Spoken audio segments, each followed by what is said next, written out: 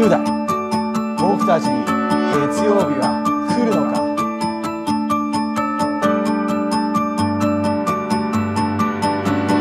はい、こんばんは。20代第109回になりました。はい、えー、今週もやってまいりましょう。杉山と。エルミです。はい、よろしくお願いします。で、暖かくなってきましたね。もうぜめっきり。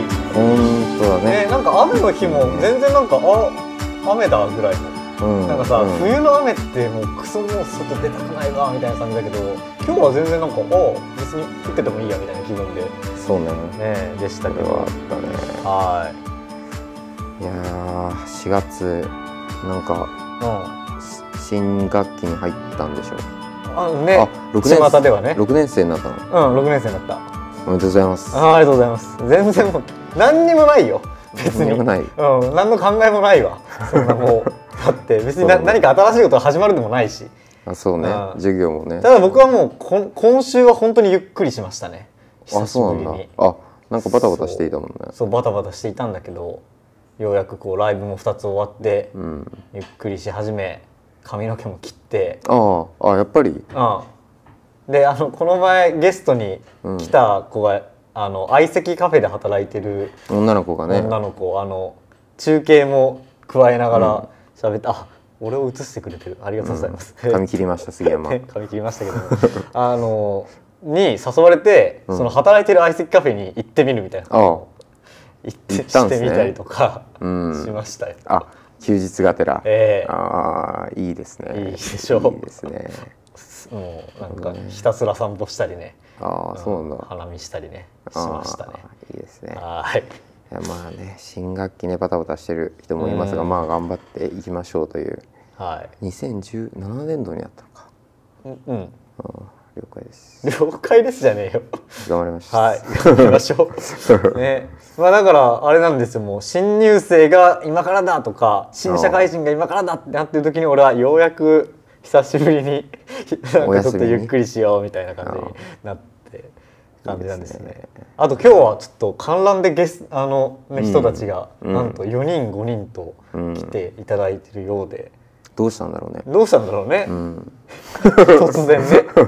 なんかこうファンの人がうん。こう周りに布教をしてくれて、うん。布教ついでに来るみたいな、うん。生で来てくれるというところまで、あの、はい。名刺会の。そうあの忘年会名刺会の武田君が、年会ではあそううん武田君が連れてきてます、たくさんの人を、ね。ありがとうございます、はい、あの見たい武田君見たい人はまあ、忘年会武田見てください、君見見たいっていうことがあればあの、うん。連絡をください。あのあメールをね今ね。グイって後ろにやれば彼の顔が映るんで。はい、というわけで今日もやっていきますか、えー今日もやっていきましょう。本当20代はですね、えーまあいろんな20歳を見てもらおうあ20代をね、うん。見てもらおうということで、まあ、20代なんとなくこうゆとりかなとかねうん。あの相続系かなとかよく言われちゃいますけど、うん。まあでもいろいろいるぞとはい。いうことをですね、まあ、毎週ゲストをお呼びしながらあこんなやつもいるんだっていうふうに、まあ、うん。一緒に驚いていけたらいいのかなと。うん。思っておりまして。いろんな人いますからね。そうなんですよ。それでまあゆっくりとねこう立体的な20代像がうん皆様の脳内に結び、ね、できてくるといいのかなっていうようなことでやっておりますと。はい。はい。でまあ副題にあの僕たちに月曜日は来るのかっていうのがありますけど、まあ、これは僕たちも何でも喋るぞと、うん。好き勝手喋るぞっていうことがありまして放送コードなしで、いやー本当そうですね、えーやってますので、あのまあ結果的にちょっと月曜日が来ないような事態がね あるかもしれないれないというので。まあでもそれは覚悟してますよっていう、うん、でももう109回 109回来てますからね。温かい視聴者の方に。この温かいももう109回言ってますからね大体、温かい。本はい、というわけなんでね今週も頑張っていきたいと思いますけども。はい。はい。よろしくお願いします。お願いします。はい、あとこちらですね、はい。あの今ねあのメールくださいというお話もはい。しましたが、うん。あのまあ、一応 YouTube のアーカイブで見ている人もいるかと思うんですが、はい。一応あの今見てる人は生放送でえーと番組やっております。はい。えーでメールアドレスがね、本送 at democrat.tv、honsou at mark dmcr.tv、はい。こちらにメールをいただけると、あのすぐ僕これパソコンで、即座に見てますはいんでね。見ていますので、はい。すぐ全部読んで反応する、はい明日にも出ましたね。はい。で基本的に全部ちゃんと読ませていただいてはい。いるので、読めあのますね。否定的なものでも全く。何でもいいですよもう本当に、お前はなぜそんな風に髪を切ったんだと。ね。か借り上げろとかね。もう何でもいいあです。借り上げろ。ね。何でもいいんで。なるほどね。助言暴言何でもありですよ、はい。いただけたらと思いますのでよろしくお願いします。はい。ちなみにツイッターの方でもねうん。あのやっております。もうリプライを飛ばしていただけたらすぐ反応できるようにしておりますので、こちらもお願いしますと。下に出てますね。はい、アットマークえーで HONSOU で20をつけてもらはいこちら20をつけて。う。はい、これがアカウントになりますと。はい。で一応ハッシュタグで、えーつぶやいてもらえても、まあ、大丈夫なんですが、まあ、僕ら反応しやすいようにアットマークでもらえると、うん。まあ、すぐねあの通知が来ますので、通知が来るのでね。はい、という感じでございますと。はい、ハッシュタグだとね検索しないとちょっと気づかないので、そんな感じでお願いします。はい、それではゲストをお呼びそうですね今はい日一緒にやってるゲストをここでお呼びしましましょょう。はい、えー、本日のゲストはこちらの方です。どうぞ。わあ、わあ。う、えー、今日は東京大学の文学部社会学科ん？違うこ行動文化学行動文化学科社会学社会専学専攻攻の竹内みはるさんに来てもらいました。ありがとうございます。お願いしますはい。あのまあ東大の友達というかユーミートで、まあ一緒にいくつか企画をさせてもらったりうんして、そのつながりであー呼んだというような感じなんですけど、はいはい。美人な方が来ました、ね、美人な方ですよ。ありがとうございます本当に。まあまあ美人を選んで出すようにもしてますよね最近。若干 若干意識してますよ。あそうなんださすがだね、ええさすが広告の人 広告の人じゃないし、なんで俺がそこでさすがなのかはあんまりわかんないけどいやすごいそうなんだよ。友達はたくさんいます。可愛い友達はたくさんいますね。どういうことなんだ結びつかねえけどねそれがね。はい。う んなんで自分でそんなこと言ってんだって話ですけど、はい。えーはいそういうわけで今日来てもらいましたけども、よろしくお願いします。ね、よろしくお願いしま。す。うん、みはるちゃんはあの、はい。もうスケートをや、えーフィギュアスケートをやっているということで、うん。そのなんか最初それの宣伝記事というか部活の宣伝記事を書いてくれたのが多分あユーミートで。そうですね。それが初めて。と思うんですけど、うん。うん。なんかあれですか？やばい技できますか、やばい技ですか、はい。え何回回れるんですか、えでも今ギリギリ2回転。あーやっぱすごいね。だってさ普通に回ってみ？飛んで、うん。回れないじゃんね。そうだね。あれってさやっはぱスケートでやってた方がスピードが出るから回転できるの、なんか4回転3回転4回転のレベルになるとうん。そうかもしれないですけど、でも2回転までだったらバレエダンサーも普通にできるので軸が取れてうん。ちゃんとまっすぐ上がって回れれば理論的にはできるんですけどなるほどね。それをするのが難しいっていうだけ。じゃあ普通に皆さんが今見てるところで一回立ってもらってちょっと助走をつけてくるりとやって2回転いける可能性もあるあのそうですね、んまあ、捻挫の危険性はありますけど。ね。そうだね。ちょっとあの周りに気をつけながらやってい。けるじゃあ責任を負えないので。気がついたら転んでるみたいな。ねあのジャグラーの友達がいるんだけど、うん。あのジャグリングをしている。あのねジャグリングの人はまた別の回転の凄さがあって、すごい鋭いしあのまっすぐ前にさ止まるんだよね。キュッて。ジャグリングしながら？回るの？あだからジャグリングして球上げてる間にキュッて回パーって上げてキュッて回ってパシッとみたいな、っていう回転の仕方をしている人もいたよ。でも2回は無理でしょ。2回はねしないよねなかなか。わけわかんないもんね飛んでる間に2回回るって。まあちょっとまあちょっとよくそうわからない。ね。ちょっと試みたことがないからわかんないんだけどね。え ーまあそんな感じはい。で、今日はよろしくお願いします。よろしくお願い。しまますはい。さてじゃあ自己紹介のコーナーに入る前にメールが来ておりますのでメールが来ておる。こちらを、えーお読みさせていただきます。えーまず、はい。えーデムクラネーム、うん。タイヤは泣かしても女は泣かさない新囚人さん。ありがとうございます。ありがとうございます。本当に前回来ていただいてますからね観覧に。えーはい次は信州からですよわざわざ。本当に新州。にすごいですね。すごいんですよ。高速バスが安いんだよって言ってましたね。言ってましたね。えー杉山ヘルメ君スタッフの皆さんこんばんは。こんばんは。えー先週はスタジオお邪魔させていただいてありがとうございました。いえいえ。本当温かく迎えていただいて感謝感謝です、えー、杉山は本番中もオフも同じ調子わら、えー下北沢のお笑いライブかなりレベル高くて驚きました。ありがとうございます。はい。ライブも来てくださったんですあこの間言ってたライブ。そうなんですそうですね。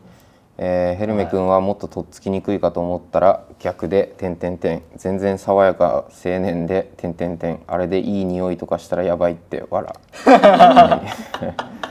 えー 緑そのいい匂いがするっていう、っていうねネタがちょっとあったんですよね。そうですね。緑であ書いて緑緑犬犬っていうね。人がね僕の匂い嗅いでいい匂いするとか言ってるんですけどね、はい。えー緑犬がリスペクトするのも分かる気がするわ。いや意味違う違うわらとこう自分でも突っ込んでますが、はい。えー 実はですね昨日もそっちにいたんだよ、うん。わら。はい、金曜日に仙台から浦安へ行ってデモクラ TV さんの番組にちょこっと出演させてもらってあら。土曜日にはメインの番組を観覧させてもらって秋葉原のなんとかカメラでソルリパブリック社のマスタートラックス。買っちゃったの？番組へのネタにと主張してきた。私にも分かる。違うわ。あもうあ買ってはいないんですね。買ってはいないんだ。あのすごいいい。買ったらええやんあかのヘッドホンが一回紹介される。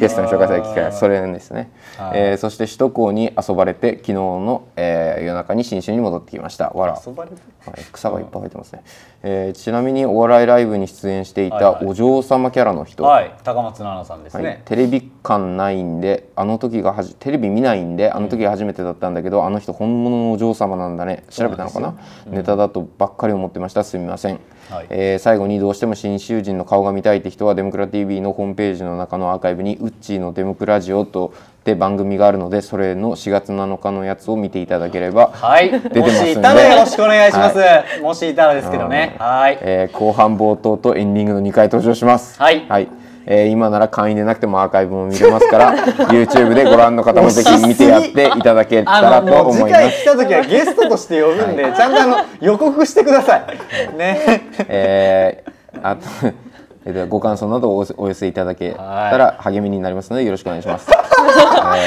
番宣だ。励みって？何の励みなんですか？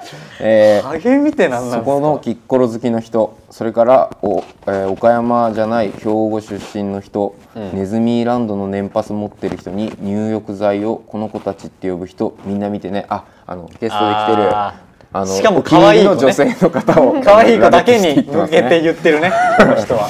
はい、どうしようもねえな、ちなみに出た本人は自分がやらかしたことの重大さに今更ビビってましてアーカイブ見る勇気がないっす。パクえー、と言いつつ本送20代で出たかったな。では今夜も頑張ってください。は いそれが言いたいだけじゃねえかっていうね。ありがとうございます。愉快ですね、はい。実に愉快ですよ、次いきますね。はいえーあもう一個来てますはい。僕も新囚人です僕も新囚はい人さんですよ、これね、はい。この二大巨頭ですからね。皆さん覚えていただきたいんですけど。はい、えーヘルメさん杉谷さんゲストさんこんばんは。こんばんは。えーいよいよ桜の季節になりましたね、ん。えーそんな風に誘われて何やらタイヤさんの動きが妙にいいようです、うん。えー内田誠さんの「デモクラジオ」っていうデモクラの番組に出ているのを見ました、見てんじゃん、えーいいこ感じでの人は見てるな。いい感じで奔走されてますね、えーこれからもご活躍を応援しています。皆さんも頑張ってください。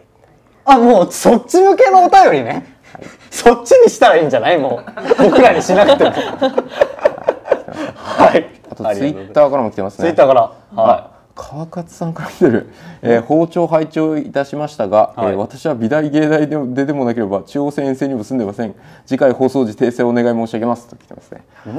ああの、漫画の人かな？漫画を書いてくれてた人が多分僕が何かの情報を見て、か彼がなんか美大芸大の出身でなんか中央線あたりに住んでるらしいということを多分言ったんだけど、ん。そうではないといい、う、真っ赤な嘘だったのね。すいません。はい謝っときましょうそれは、はい、でも見てくれたんだね。いやー嬉しいね。嬉しいね。てか出てほしいな。え作者ってことなんか、うん、そうそうそう。あの俺が好きな漫画がえあって前回で電話睡眠音あそう音楽睡眠なんかそんなやつ。そうそうそう。電話電話睡眠音楽。音楽だっけ？あうん、読んだよ俺。本当、ん。あれ良かったでしょ？うんいやちょっとよく分かんなかったわ。正直ちょっと分かんなかったけど。あ電話睡眠音楽ですね。はい。あいやメール見て見てくれてるもんなの、ね、見ていただいてありがとうございます。ググってくれたのなんかね。はいありがとうございます。そういう感じでツイッターもはい。メールの方もいつもありがとうございます。はい。じゃあちょっと最終コーナーの話を先にしますか？はい。はい。えーっと最終コーナーがですね僕たち本草マンダラというのをやっておりまして、えーこれが、えー10時半ぐらいから、はい。えー毎回やってるんですけども、えー、と僕らが、まあ、なんかトピックというかねなんか問い話したいことみたいなのを8つ出しましてでそれをこうマンダラ状にちょっと並べたものを皆さんにお見せしながらその中で、まあ、1つ、えーこれ話してほしいなっていうのを投票してもらって、でメールだったり、えー、ツイッターの投票だったりで、はい。もらってで一番投票数の多いものから喋っていくっていう。はい。やってるんですけども、まあ、まずはちょっとどういうトピックかっていうのを出していきますか。えー、と今日もね、えーとはい。僕らとゲストで8はい。つトピック出しております、はい、ぜひ投票ツイッターの方は投投票。お願い票したいですね。えーとあとこれ話してほしいっていう1個あればあのメールでもお願いします。はい、でちょっとラジオ的に弾いてる人もいるので1個目から読んでいきます。1個目が、はい、えー休みの正しい過ごし方を考えてる時点でどうよ。はい、これ一つ目僕ですね。はい。なんかね、休みになったぞと、うん今週休んだんだね。あうん。どうすればいいんだろうと、うん。休みか、いかにこう、いん？楽しむにはどうすればいいんだろうみたいなふうにこうなんか考えちゃうのね。うん。それどうなんだろうなと、休めてんのかと。ほあとあのバリバリマッキンゼーで働いてる友達があの急に昨日メッセが来て、1週間休みを取れたんだけどどうすればいいって来て。ううんうん。こいつもなんだなっていうかこいつの方がやばそうだなと思ったんだけど。人に聞いてくんだみたいなね。まあでもなんか正しい過ごし方を考えてる時点で正しくねえんじゃねえかみたいな。休みとしてどうなんだみたいな、でもなんか 正しく過ごしたいんだよね。うんって思っちゃっていううん。話です。なるほどね。はい、ありがとうございます。えーで2つ目。はい。えー相席カフェに行ってきた話。はい行ってきましたよと誘われるままに行ってきましたよと、ええ。その時の。あその時の話をしましょう洗いざらい、あ はい。ーぜひ聞きたい人は、はい。はい。よろしければということで。ねはい。はい。えーで3つ目、はい。えー公的手続きってなんでこんなにやる気出ないのか。そうなんですよ。あらゆる公的手続き、うん、えあのの住民票えとか、はい。とかもそうだしさ。確定申告とか。確定申そう全部ねメモってあるの手帳に、はい。やらなきゃってうん、やらなきゃ。そのままずっと置いてある。ね。っていうことなんですよ。何なんだろうと。別に多分行ったらすぐなんだよ、うん。ううん。ん、行かないんだよねこれが。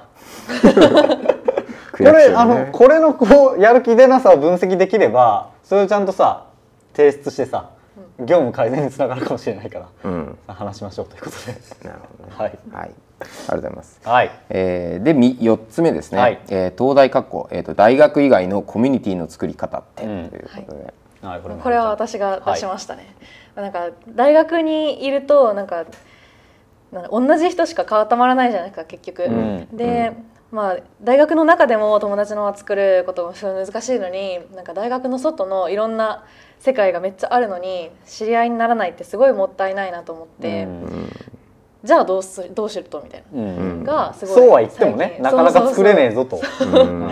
まあ、大学生とかね。まあ、うんこれまあ広めに言って、まあ、今自分がいるコミュニティ以外でどうやって友達作るかみたいなことでもいいかもしれないですけど、そうですね。興味あればということで、意外と新入生とか新入社員でそうね。知らない人もいるかもしれない大事ですね。はい。はい。えーで5つ目、うん。えー健康で文化的な生活が送りたいって、えー難しくないと。うんはい難しいんですか？難しいです、うん。あのまあ、健康ってまあなんだろうみたいな。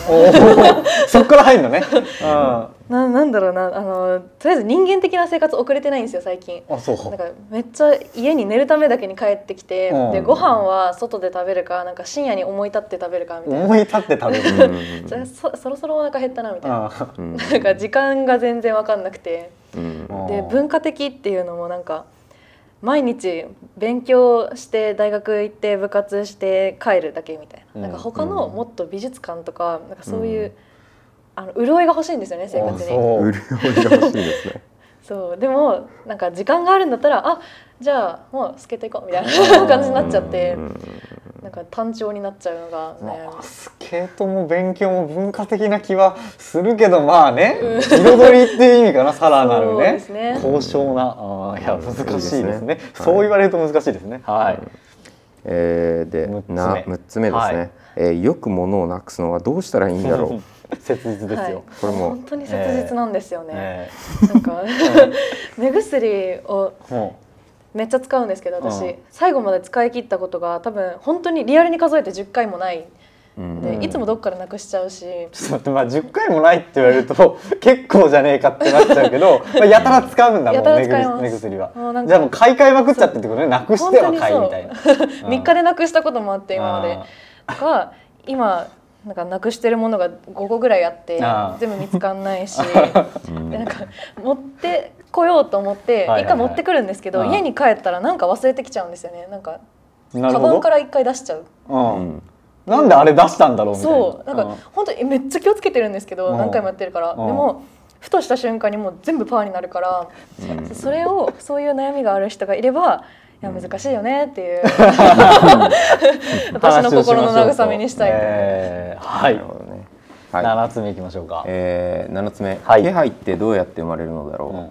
あこれ僕なんですけどあのこれ下って映せますか？いやなんか、うん。なんか僕がフォローしてる荒川修作ボットがうん。一度でいいからお前ら気配ってどうやって生まれるか考えてみろって つぶやいてたので持ってきました。ちょっと一度でいいから考えようと思ったのね。そうそうそう。そうそうそうおそう。一度で良さそうだけどね。知らないですけど。うはとい。うといいう7つ目ですね。はい最後。で最後は、えーはなぜ話を聞きながら何度もうなずくのか。うん。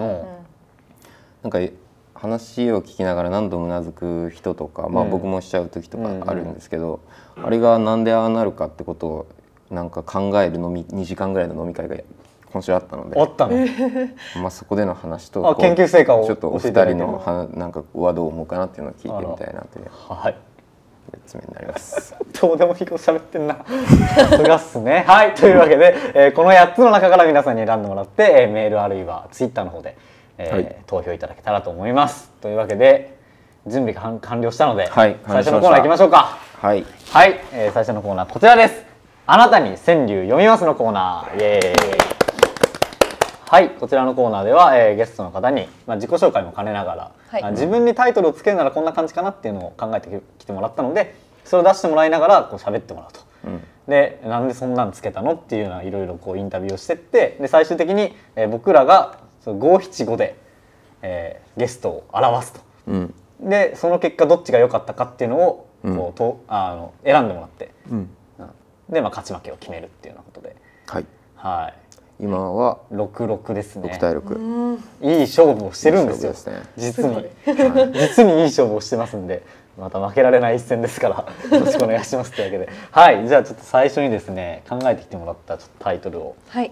えーオープンしてもらいたいと思います。はい。これです。じゃん、はい。ストイックと下克上人生。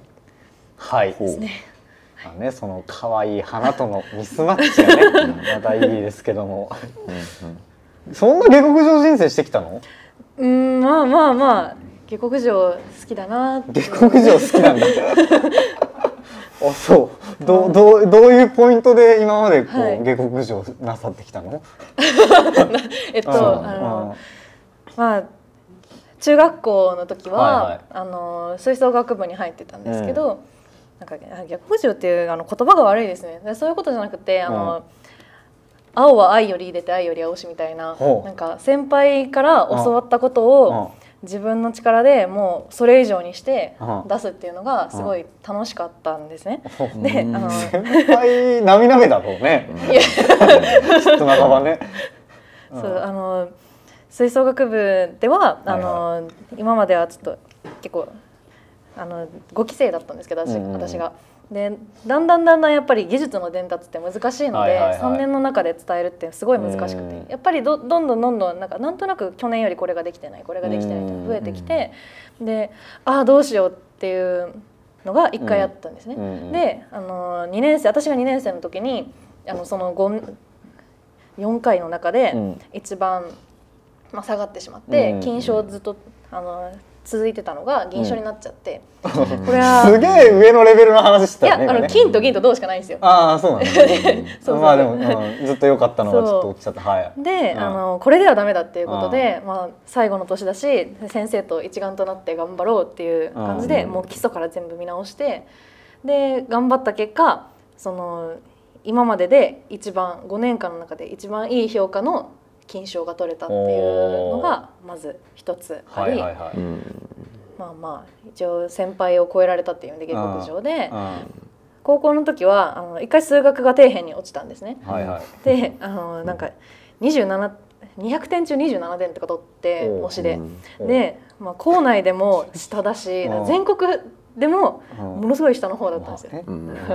で、はいショックを受けて、あでこれではダメだっていうことで、うん。もう頑張りまくって、はで結果から言うとあの、めちゃくちゃ数学が得意になっいて、もう泣きながら勉強した結果、うん。その最後東大の入試ってあるじゃないですか、はいはいはい。数学で。あれで5点しか取れなかったのがう。ん48取っておそこで救われて文系だもんね、はい。文系で48取ったらもうそれが要因で受かるよねほとんど。なんか過去の栄光を話すなって感じなんですいけど。やいやいやいやそういう時間だからこれ。俺が聞いたのが悪い。大丈夫。俺のせいです。はい。そういうええ下克上ができましたと。はいはいはい。で今は、うん。あのいかにそのなんだろうフィギュアスケートやってるんですけど、うん。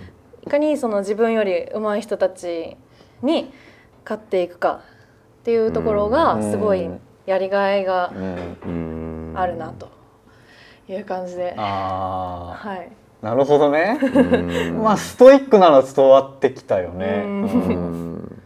えなんでだ大学からはい、フィギュアスケートを始められたんですか、なんかそれも、うん。なんか自分の苦手を克服したくて、ほうほう。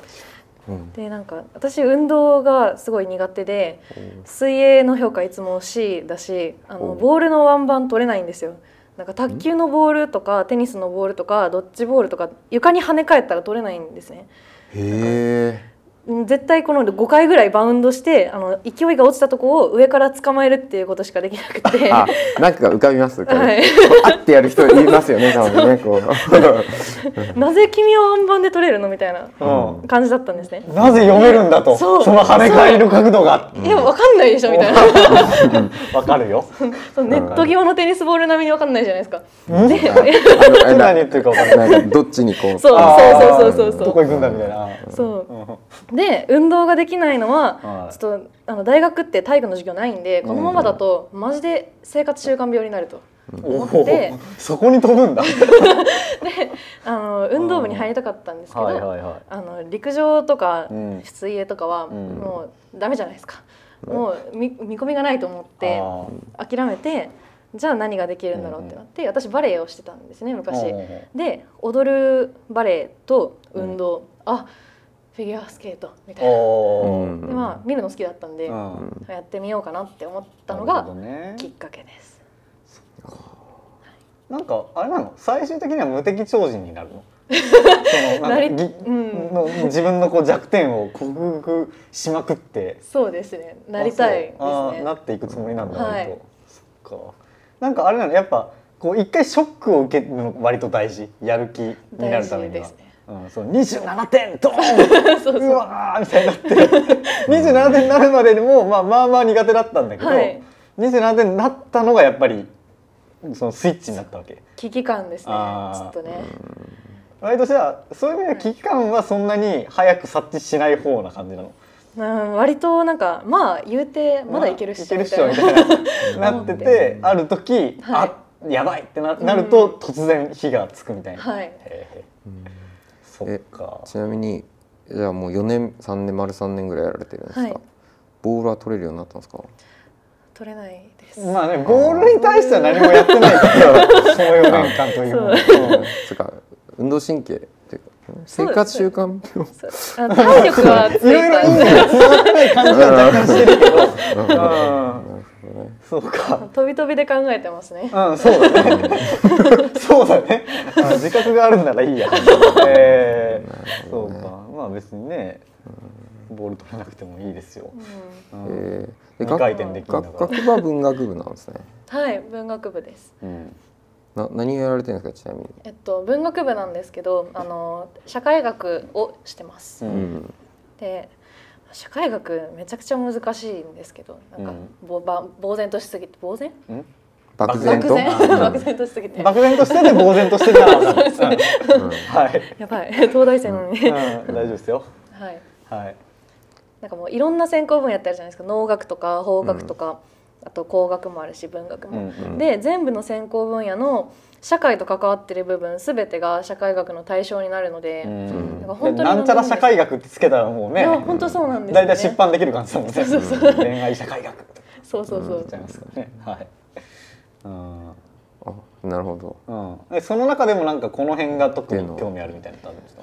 と私は、あのまあ社会本当に社会の感じで、まあ、社会の中で人がどう動いてるかとか、うんうん。まあ、生まれとかジェンダーとかによってなんか人がどう影響を受けて動いてるか、うん。でそれはいいことなのかどうかみたいなところを問い直したりとか、あとは最近だと労働問題にすごい興味があって。うん。社会と労働の関係みたいなのはうん。卒論卒論にしたいと思ってます。うん。えー、え労働？うん、労働。労働っていうとどういうどういうえっ話ですか、とまあ、最近授業でやったことがあの日本はなんだっけな。戦後に労働の形が変わったみたいな。なんかうん。ほう。一人の働き男性の働き手があのフルタイムで労働することでうん。あの成り立ってるんだけどそれはあの都心に結構集中しちゃってで都心に集中すると何が起きるかっていうと、あのまあ、女性とかが、まあ、あの家で絶対あの家事をやってることがうん。あのフルタイムで働く支えになるの前提なんですね。うん。でそれがないと成り立たないようになってたんで。だからなんかちょっと都心に集中すると子供が育てにくくてうん。どんどんその少子高齢化の問題にもなってくるし逆にあの過疎になってる高齢化はどんどん高齢化が進んで、うん。じゃあ都心もどんどん高齢化が進むじゃないですか。ううんん。で高齢化が進むとじゃあ働き手はどうするの？みたいな。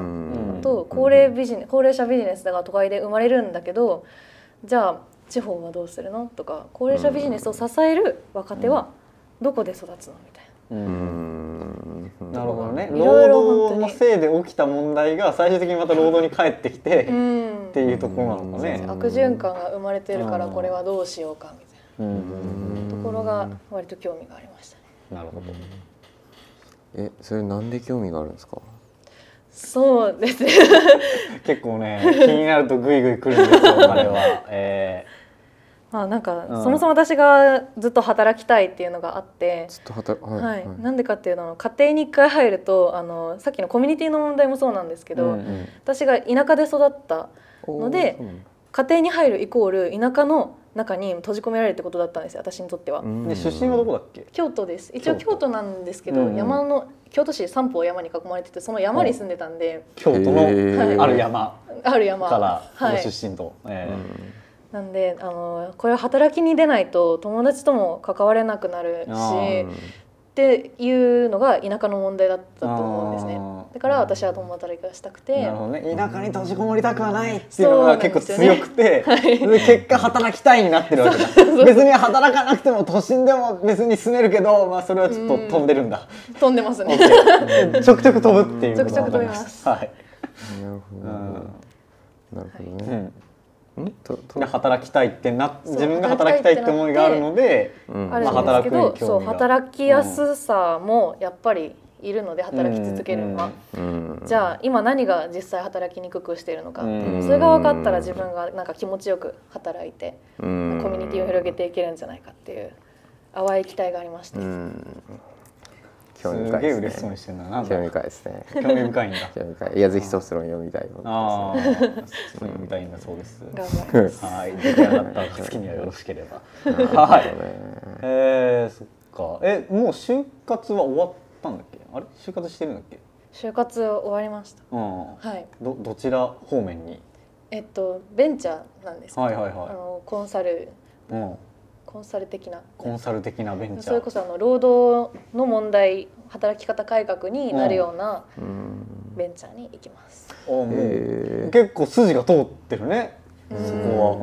えー面白そう。えー、どどえー、なるほどね、うん。はい。ちょっとね。どこまで喋っていいのかわかんないですけど、社名とかは別に出せないですもんね、うん、そうですよね、うん。いや大丈夫です。なるほどね。いや面白いですそっねか、あじゃあもうそこでバリバリ働いていこうはい。と、うん、でも共働きがだあ働きがいいってことは別になんか結婚願望がないとかではなくて、はい。まあ一緒にみたいな風にうん。こうやってだからいけたら。閉じこもるっていうのはちょっと避けたいっていう感じなんですよね、うん。なるほどね。いや面白いね。じゃああれか。その会社はまあ他の会社にこうより良い働き方をしましょうよって提案しに行くってことは働きやすいのかなその会社自自体は。働きやすくしていこうみたいな感じですね。やっぱりさすがにベンチャーなのであの大手みたいな福利厚生はまあさすがにねうん。あの大盤振る舞いができないんですけど。もうん。まあでもやっぱ意識が高そうではい。働きやすそうな感じがするし、うん。いいんじゃねえということで。しかも環境がなければもう作ればいいやっていう。おお下克上人生。生 同時に思いついてしまいましたね。はい。そういうわけか。フィギュアは今後も続けていくのかね？はい。あ4年の3月まであはいはいはい。のやるのでまあ本当に頑張ってどこまでいけるか。3月ってもう本当に最後まあでそうなんですよ。卒業式そっか。2週間ぐらい前みたいな。に最後の大会があるみたいな感じなの、へえどれぐらいいるの？そのやってる人って。えっと、うちの大学の部は30人いるんですけど、うん。うんあ全国だとあの国公立だけで200 210人ぐらいへえ、ですね、で私立を合わせるとあの昔からやってる人たちがめちゃくちゃいるのでもう分かんないです。あもう分かんなくなっちゃうんだ、はい。もうそっからは。はあ。そこで熾烈な戦いがあるわけね。うんうん暑いですね。暑いんだ、はい、社会人になってからも割とややろうっていう気はあるの？それともまあそうですね。なんか先輩は結構あの、うん。めちゃくちゃ忙しくても週1でたまにいらっしゃるとか、へー。合宿になんか自自力で合宿を開くとか自力で自力で大会をを開くとか。自力で大会を開く？最近 OB さんの大会が増えてるの OB 向けで、のね、はい、ちょっとそこに顔を出したりとかもしてますけど、いいね。細々と続けられたら個人競技なので、はい、そっかそっか。本当にいつでもできる、それはいいことだね、うん。はい。え。なるほどね。うん。そろそろ考え始めますか、一応聞いといていいですか？いいよ。はい。なんかこうかなりこうなんか大学入ったらあんま部活っていう人あんまいないじゃないですか、うん。でもうこうかなりがんこうやってなんか空いてる時間あったらこう練習みたいなうん。ストイックさと、まあこう労働のところもっていう話じゃないですか。はなんか恋愛とかはどうなるんですかその時？いおいいですか、おはい恋愛にもストイックなんですか、ストイックなんですかね？いやわかんないです。あの ストイック。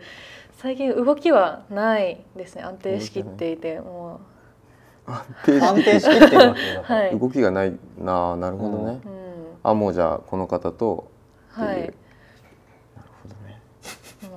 なんでそういうトーンなの周りと収まってしいやなんか、うん。うんいや先ほどあのなんか健康で文化的なみたいな、僕割とあの僕あんまりあのなんか人間の心とかばっかり仕草とかばっかりに興味があったりやって,、うんやってるのでなんかあまり文化に興味がなかったんだけど基本的にはなんか彼女を通じていろんなものに触れることがあったのではい。なんかどういう彼氏さんなのかなというかこうあい。るのであればという話でちょっとその辺を聞いてみました。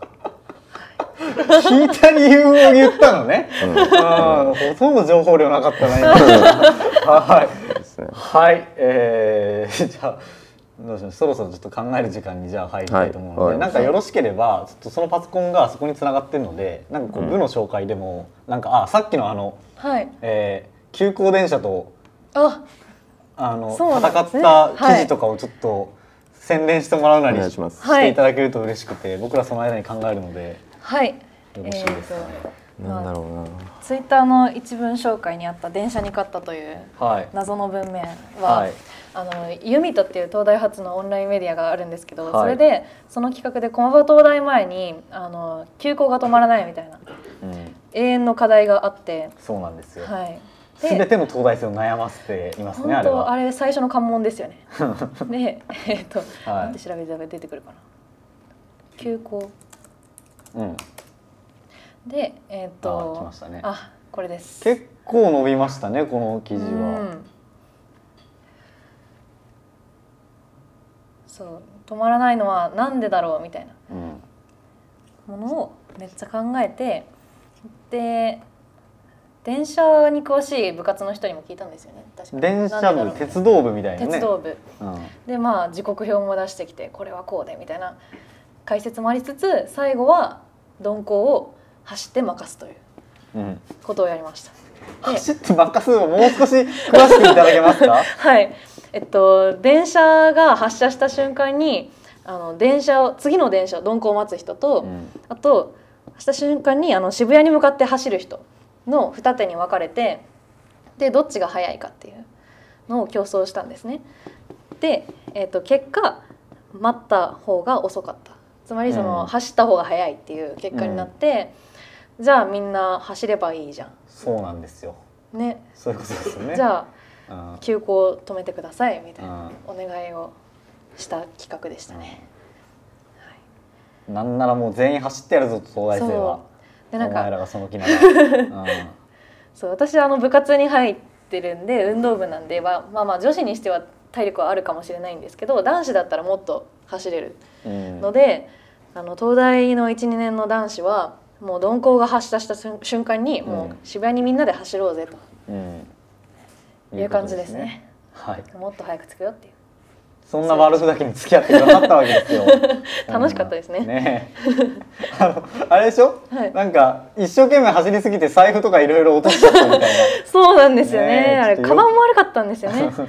よくなくしちゃうところがちょっと垣間見えるところもありつつってことで、はい。ちょっとよろしければね見てもらって、うん、あのフィギュアスケートの記事とかもね書いてくれましたけど、フィギュアスケートあります。うん。フィギュアスケート。これは去年の新刊記事ですね。なんかこれをきっかけにユミート入ったんですけど、ちょっとアイキャッチ1年前のちょっと顔が丸い私。そんなことないけどね でも結構これが好評だったんでよかったん好ですけど。評でしたよ、うん。新刊記事コンテスト第4位ぐらい、はい。いやーありがとうございます。ちょっと相当3位に入りたかったんですよねい。やいやでも残念だったけど、でもこれを見て入ってくれた人がいましたはい、いや本当にありがとうございました。はいというわけでなんか他にもねやってる動画とかあったりしないの？あ、あります。スケート滑ってるところあるんですが、はいあるんですが、あの携帯にしか入ってないので、YouTube に上がってないんですよ。さすがにねなる。ほどそっかはい。あーはいなんか他にもはい。宣伝したいことがあればという感じなんですけど宣伝したいことはあとあともう少し考えさせてもらいたい そうですね。宣伝したいことは、今年も新刊記事を書きます。あ、はい。そうなんだよね続続編みたいな感じなの？そうですね。あうんのさすがに2個同じことを書くのはうんややばいので、まあ、今度はもっとフィギュアスケート自体がこんなに面白いんだよっていうところを言います。あのフィギュアスケートはちょっとネタばらしをすると芸術かスポーツかみたいな議論があるんですが、えまあ、スポーツ性もちゃんとあるよということで、なんかさ最近さ羽生くんがさ、はい。なんかすげえ簡単に4回転飛び始めてるじゃん。すごいですよね。うん。簡単に見えましたよね。あの 4, 回転ってあのすごいリスクを冒してねはい。こうあ飛べたすげえ！みたいなうん。行くか行かないかみたいなやつだと思ってたのに、はい。なんか4回ぐらいできたよみたいな。4回転4回できちゃったみたいな。大逆転しちゃったみたいなのがすごい出てですね。て、あれ？こいつ？みたいな、うん。やっぱりやばいやつなのかな？みたいな。やっぱやばいんですか？本当に本当にすごいです。あのちっちゃい頃からやっていても、うん。3回転は壁だったりするので,、うん。でその中でさらに4回転となると、うんもう本当にやばい。うん。ですね、やっぱ才能と努力うん。ですね。うんね。えーなんか部活やってると上手い人はどれぐらいまで行くんですか？えっと学生から始めた人でいうと、あの男子だと大体めちゃくちゃ頑張ったら2回転でなんかかつてい私が聞いてるのは1人なんですけど昔3回転まで行った人がえー一人だけ聞いたことがある。伝説なんですよ。はいでも経験者として入ってきた人もうん。めちゃくちゃ頑張るので、うん。もう本当に伸びて伸びてすごいところまで行きます、ちなみに家族構成はどういう感じですか？家族構成はえっと 急にインタビューもらいま妹がしたよね一人います。あとご両親。はい。ああで妹はいくつ離れてるんですか？2つです。あー。京都にいらっしゃるの？いやあの東京にいます。あうん。はい。できてるんだなんで今2人で。あ二人で住んでるの？はい。へえ二人で住んでるよね？妹と。あれ？あもう住んでない。あ住んでないんそだお前まで？れ去年かな？うん、なへー。うん。るほどね。考えてる？な真っ白。んだろうな。あ真っ白なのね。じゃあ京都に帰る予定はないんですね？あ今月末に帰ります。あなんか将来的に？とか。あ将来的にはうんないですねやっぱり。うん。なんか働き場がやっぱり、ね京都だとちょっと選択肢が狭まっちゃうのでうん。東京かな。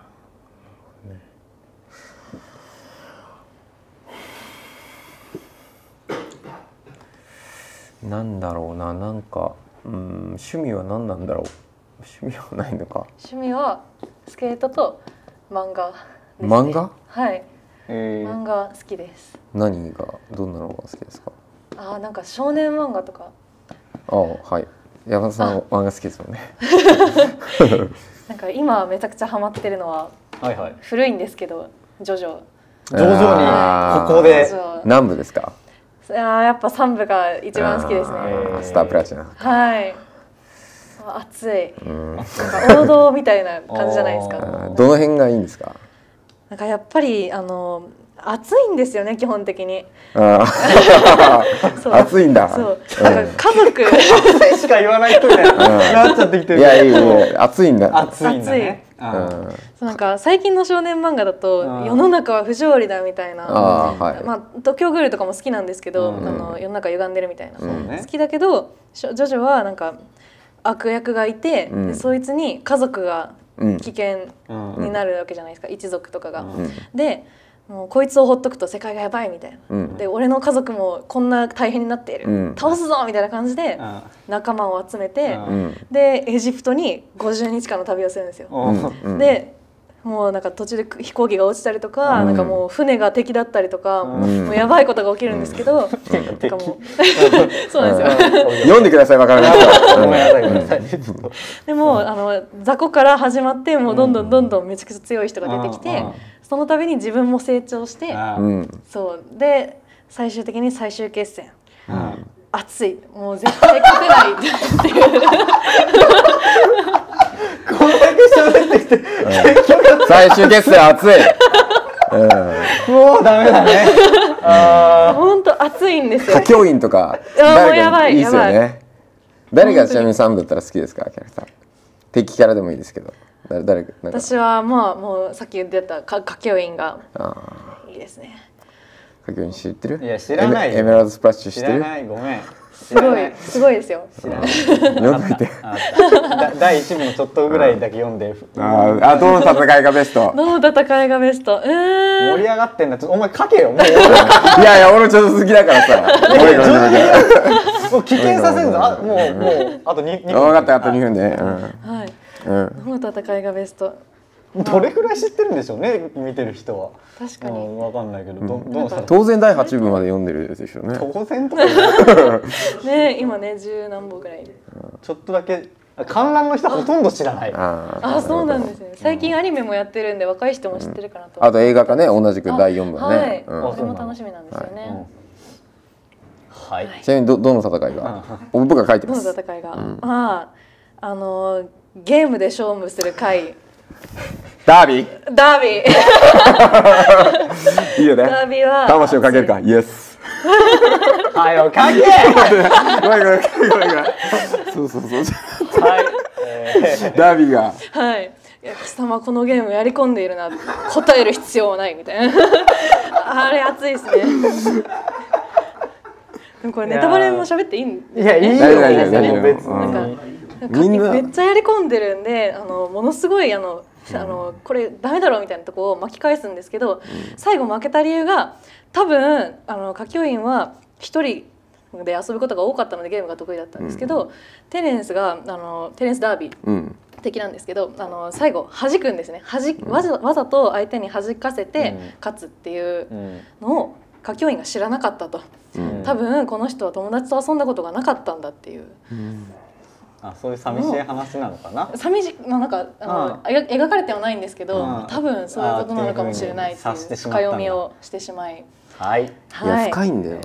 分かった。分かった。で一旦別の話しよう。じゃオッケーオッケー。ちょっとちょっとね本当に戦に集中するわ。ちょ徐々に持ってかれるとね、あの徐々に知らない人がちょっと、うん。あれだからさ、うん、他にこうなんか好きな漫画とかで言うとどうですか？好きな漫画は？最近漫画があのよく話題になってこの番組、あのあそうなんですね。好きな漫画何みたいなの結構話したりしてるんですけどなんかありますかね？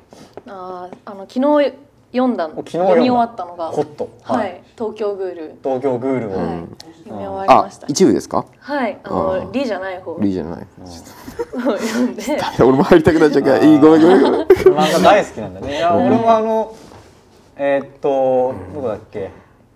あーなんかゲオが近くにあって。あでそこがまあそんなにあの漫画のレンタルやってるとこって多くないですけど、うん。あのやってるところなんでちょくちょく借りて読んでますけど、うん。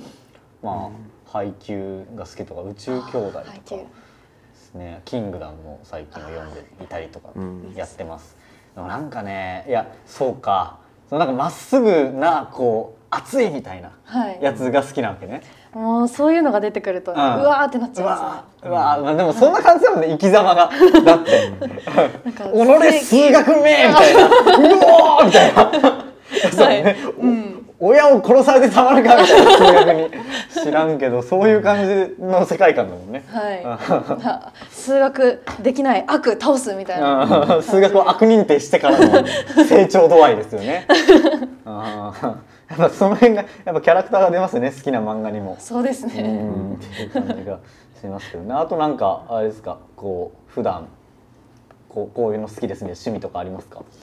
趣味ですね。あさっきなんなんだっけ漫画と、漫画と、まあ、スケートと、うん、あとはあのいきなりなんか系統変わるんですけど、あのブラブラとウィンドウショッピングするのが好きです。おおそうなんだ、はい。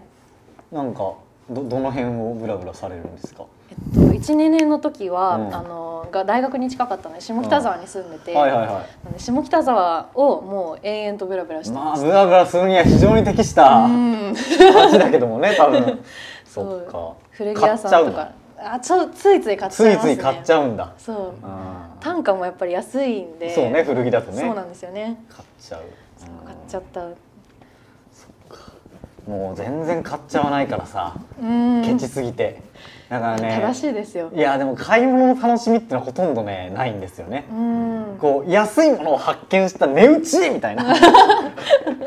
基本的に高いものは悪みたいなのであ生きてるのであ、わかりますわかります。シャーみたいな。うん。半額じゃーみたいな。そういう世界観。なので なんかそういうタイプのこう値打ちなものを探そうみたいなのは好きなんだけど、うん。古着屋なんかはその視点で私回ってました。ね。ただやっぱ古着屋ってこうちょっとセンスがいるじゃないですか、うん。私なんてセンスが全くないのでこうやばいものを買ってしまうわけですよね。あのこれいいんじゃねえかなみたいなうん。なるほど。うん、買っちゃう。安いしみたいな、うん。絶対着れねえみたいな。後からよく考えるとね、まあ、あるいはそれを着ててお前マジでやばいからやめとけみたいな。ちょくちょく言われるので。そう言ってくれる友人がいるのは幸せなあことですよね。それはそうですね。書けましたか？はい。書けたようです。はい。というわけでじゃあちょっとオープンしてですねあの判断いただこうと思います。はい。いきます。じゃあ僕から、はい。ドン。収まらぬワンバンしてからすごい飛ぶ。はい、うん。えー、勝ち。ということで。あのまあなんかワンバンしてから取れないと、はい。いうことを言ってたけどやっぱ自分がそうだよね。ワンバンしてからの跳躍がすごいから、うん。だから多分あの、うん。球取る時に多分これぐらい飛ぶんじゃないかなって、球に期待しすぎて 普通そんな飛ばないんだよみたいな。だからね自分がすごい飛ぶわけですよ、うん。全然こう田舎にとどまるつもりもなければ、その現状にとどまるつもりもないというところがですね収まらぬってこのびっくりマーク。かなっていうようなところでありますと。いやーもうそれ勝ちでいいでしょうけどうんあそう。一応出そう。一応出すはい。えー恥ずかしいもはや。えー、己知り熱く勝つべし生きるなら 熱いな。熱い。熱いなまあそういう話だったかな。そうそうそうですね。総括するとね、そう熱いでしたね。はい。ジョジョっぽいのかな？ジョジョっぽいのいや。でもないの、うん。うん。確かはい、えーというわけでですね、えっ、とまあどっちが気に入った方をまあいいかなあそうと思う方ですね。ジャッジをしてもらうので。整ったら整ったと言って。はい。にはい。うん。いや結構迷いますね。あ迷う。うん、、はい。やでも整いました。い。はい。はい。はい。じゃあ。じゃん。杉山さんで。ありがとうございます。じゃあ。いや今日はあちょあ理由を。はい。はい。あいややっぱり暑い。っていうキーワードが入ってる時点でやっぱりこっちにフフフって寄っちゃったんですけど 言っちゃったんだ。なんかワンバンしてからすごいと思ってうん。発想があなんか初めてあ今日うん分かったのでうござないんまかあワンバン取れないのは別にいいんだみたいな。そうね。そういうことにな新しい気づきもありましたので、まあこっちよかったです。いやーいいですねこれはもう今年の本草川柳大賞あ本当？今のところノミネート あ僕の中でノミネートしてますはい、うんそうだね。負けを認めないもんね普通は出す前には。いやうんいやすごいといや面白いと思ったねありがとうございます。というわけで、まあ、今日は収まらぬワンバンしてからすごいと思うを採用いただきました。ありがとうございます。ありがとうございますはい。では、はいえ二つ目のコーナーに続きね行きましょうかはるさんとやっていきますが、はいえー、2つ目のコーナー入ります、はい。えー、こちらですドン。あサイムニュースイエーイ。はい。こちらのコーナーは本日の朝刊をまあ浅く読んでなんか言うということですはいね。なんかなんか言うをなぜかハモってきましたけど、えー、まあなんかね気になるのがあればちょっと喋ろうということなんですけど、なんかありましたかね？したか？あーなんかなんだっけ？一九八四。あーそうそうそうそう1984 1984年。ジョージオーウェルの。はい。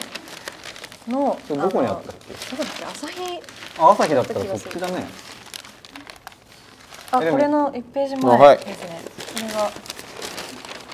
これです。あ、はい。ここですね、はいはいはい。がやっぱりもともと好きな本だったんですけど取り上げられてて気になりました、うん。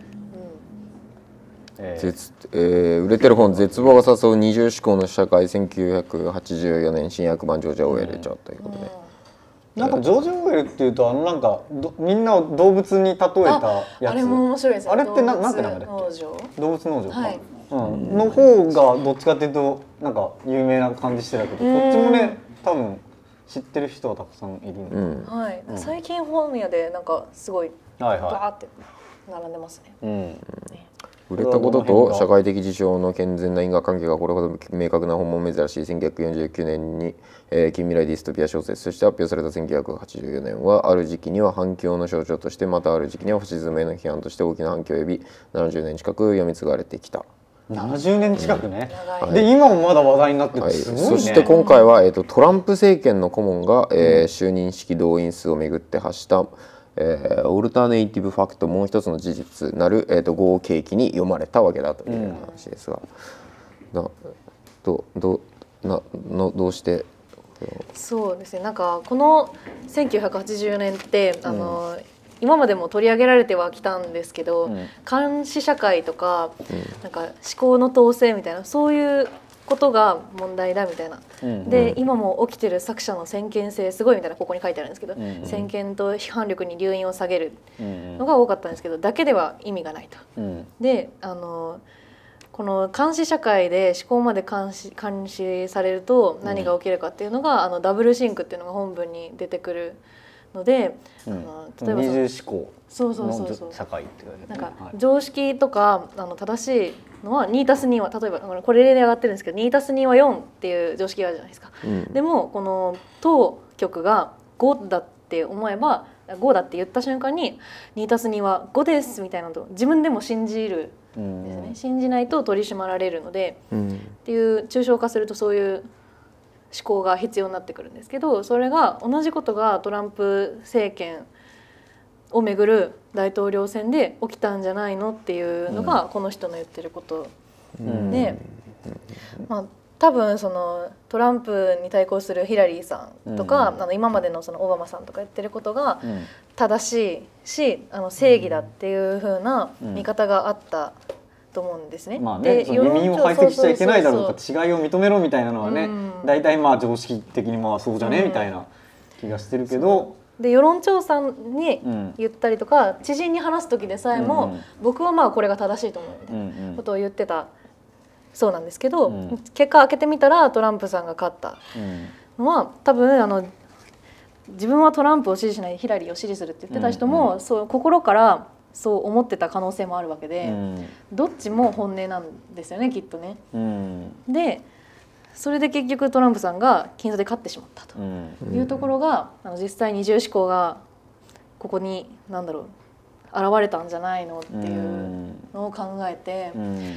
まあ、なかなか面白い読み方もできるなと。うん、だから一方ではその、まあ常識的にこれが正しいだろうみたいな、うん。海排斥するのかわいそうでしょみたいなのをまあ人前でも言うし、そうかなと思ってる一方でそうんですよねちゃんとね。でもなぜかトランプが勝ってるってことは、うん。本音のところではみんなまた別の考え方を同時に持っている、うん。なんか外向けにはそうやって言ってるけど、実は自分の中ではそう思ってたのかもしれないしその2つの思考がどっちも本物みたいな風にうん。矛盾して存在してたのかもしれないしどうなんだろうみたいな話ですよね。ね、なんか面白いのはあれですよね。やっぱすごい本ってそのその時々で違う読まれ方でまた発見があるんでしょうね。だからジョージ・オーウェルのその1984年もそのいろんな取り上げられ方を今までしてきたけど、うん。初めてその二重思考っていうところが光当たってあ、ん。それも言ってるみたいなことになったんだろうなっていうことですけど。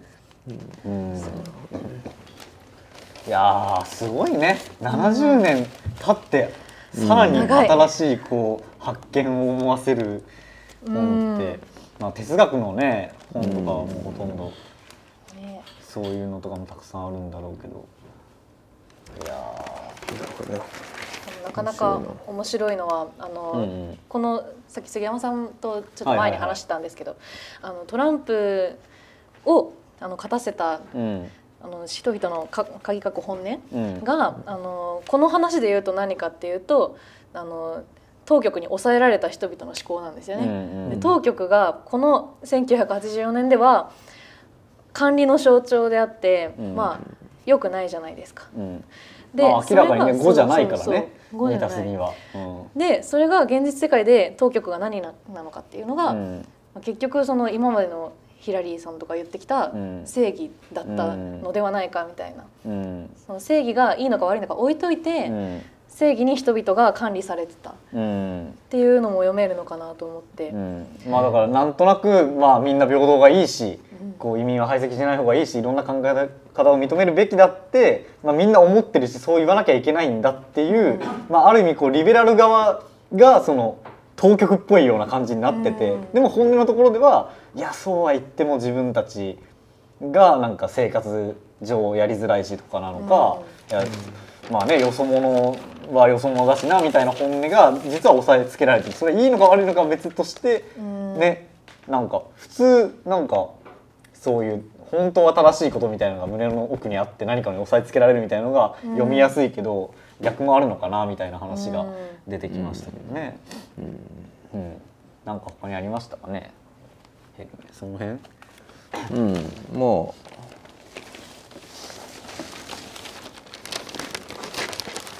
うまはあ一瞬しか触れないですけどおう本草っぽいうん。なぜペニスはそんな形なのかってねいう、それが言いたかっただけだろうなっていう感じありますけどね。いやうん、ええ。人についての不謹慎で真面目な科学。問いにタブーなし、うん。まあ、問いにタブーなしもうほとんどわ我々の標語みたいなところあるからね、そう身近で身近で聞いてみよう。行きましょう。うん。ペニスはどうしてぶら下がっているのか。なぜあんな形なのか。そもそも資本を残すために最も大事なものを収めている陰嚢がどうして無無防備な状態でしかもアシンメトリーにぶら下がっているのか。進化のためを 進化のためを考えるならなぜ人類は早漏ではないのか、えー人間以外の動物がほとんどしないマスターベーションとは何か。足フェチって何なのか。失恋とは何か。足フェチ急に浮いたな。飛びましたね。足フェチって何なのか。失恋とは何か。同性愛をどう解釈したらよいのか。自殺とは何かという、まあこの学者自体が実験心理学者でもありゲイだということはもう公表済みという話ですが、面白いね、うん、非常にこの、うん、面白い。なんか戦まあ略上間違ってんだろみたいなね、うん。なんで出てんだっていう、うんまあ、この著者もなんかこう自分で書いてるんですけど、はい。科学の世界には聖,、えー、と聖なるものなどなかったし問いが馬鹿げていることもしてはならない問いというものもなかったと、著者は言うこの科学への敬意の姿勢が気持ちいいということで、サンキュー達夫さんがなんかこう、紹介していたなという感じですすね。ねまあ敬意ですよね。それは科学への。科学のスタンススタイルのねねそうですね。という。はい。そんなところですかね。はいはい。というわけで、まあ、時間もいい感じなのでここで一旦ちょっと休憩をさせていただいて、えー後半は、えーグッドシングスと、えー本草マンダラをやっていきたいと思います、えーはい。メールと投票の方お待ちしております。よろしくお願いします。はい。お願いします。はい。じゃあ休憩入りましょう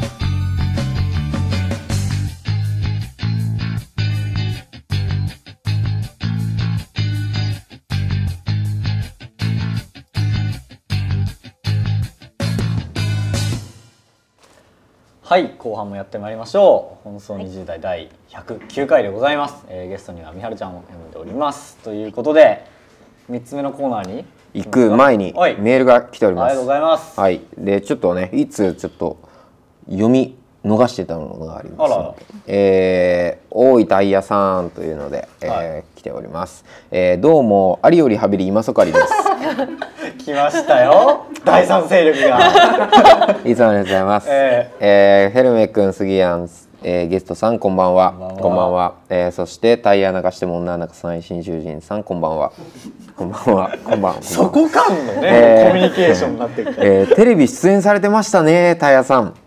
えーテレビといっても、えーデモクラデモクラ TV ですが4月7日のうっちーのデモクラジオを見ていたらゲストとしてタイヤさんが紹介され、えー内田誠さんの前に座って喋り出したのでびっくりしてしまいました。見ている方がいますね、えー今月はタイヤは泣かしても女泣かさない新囚人のキャンペーン月間だそうです。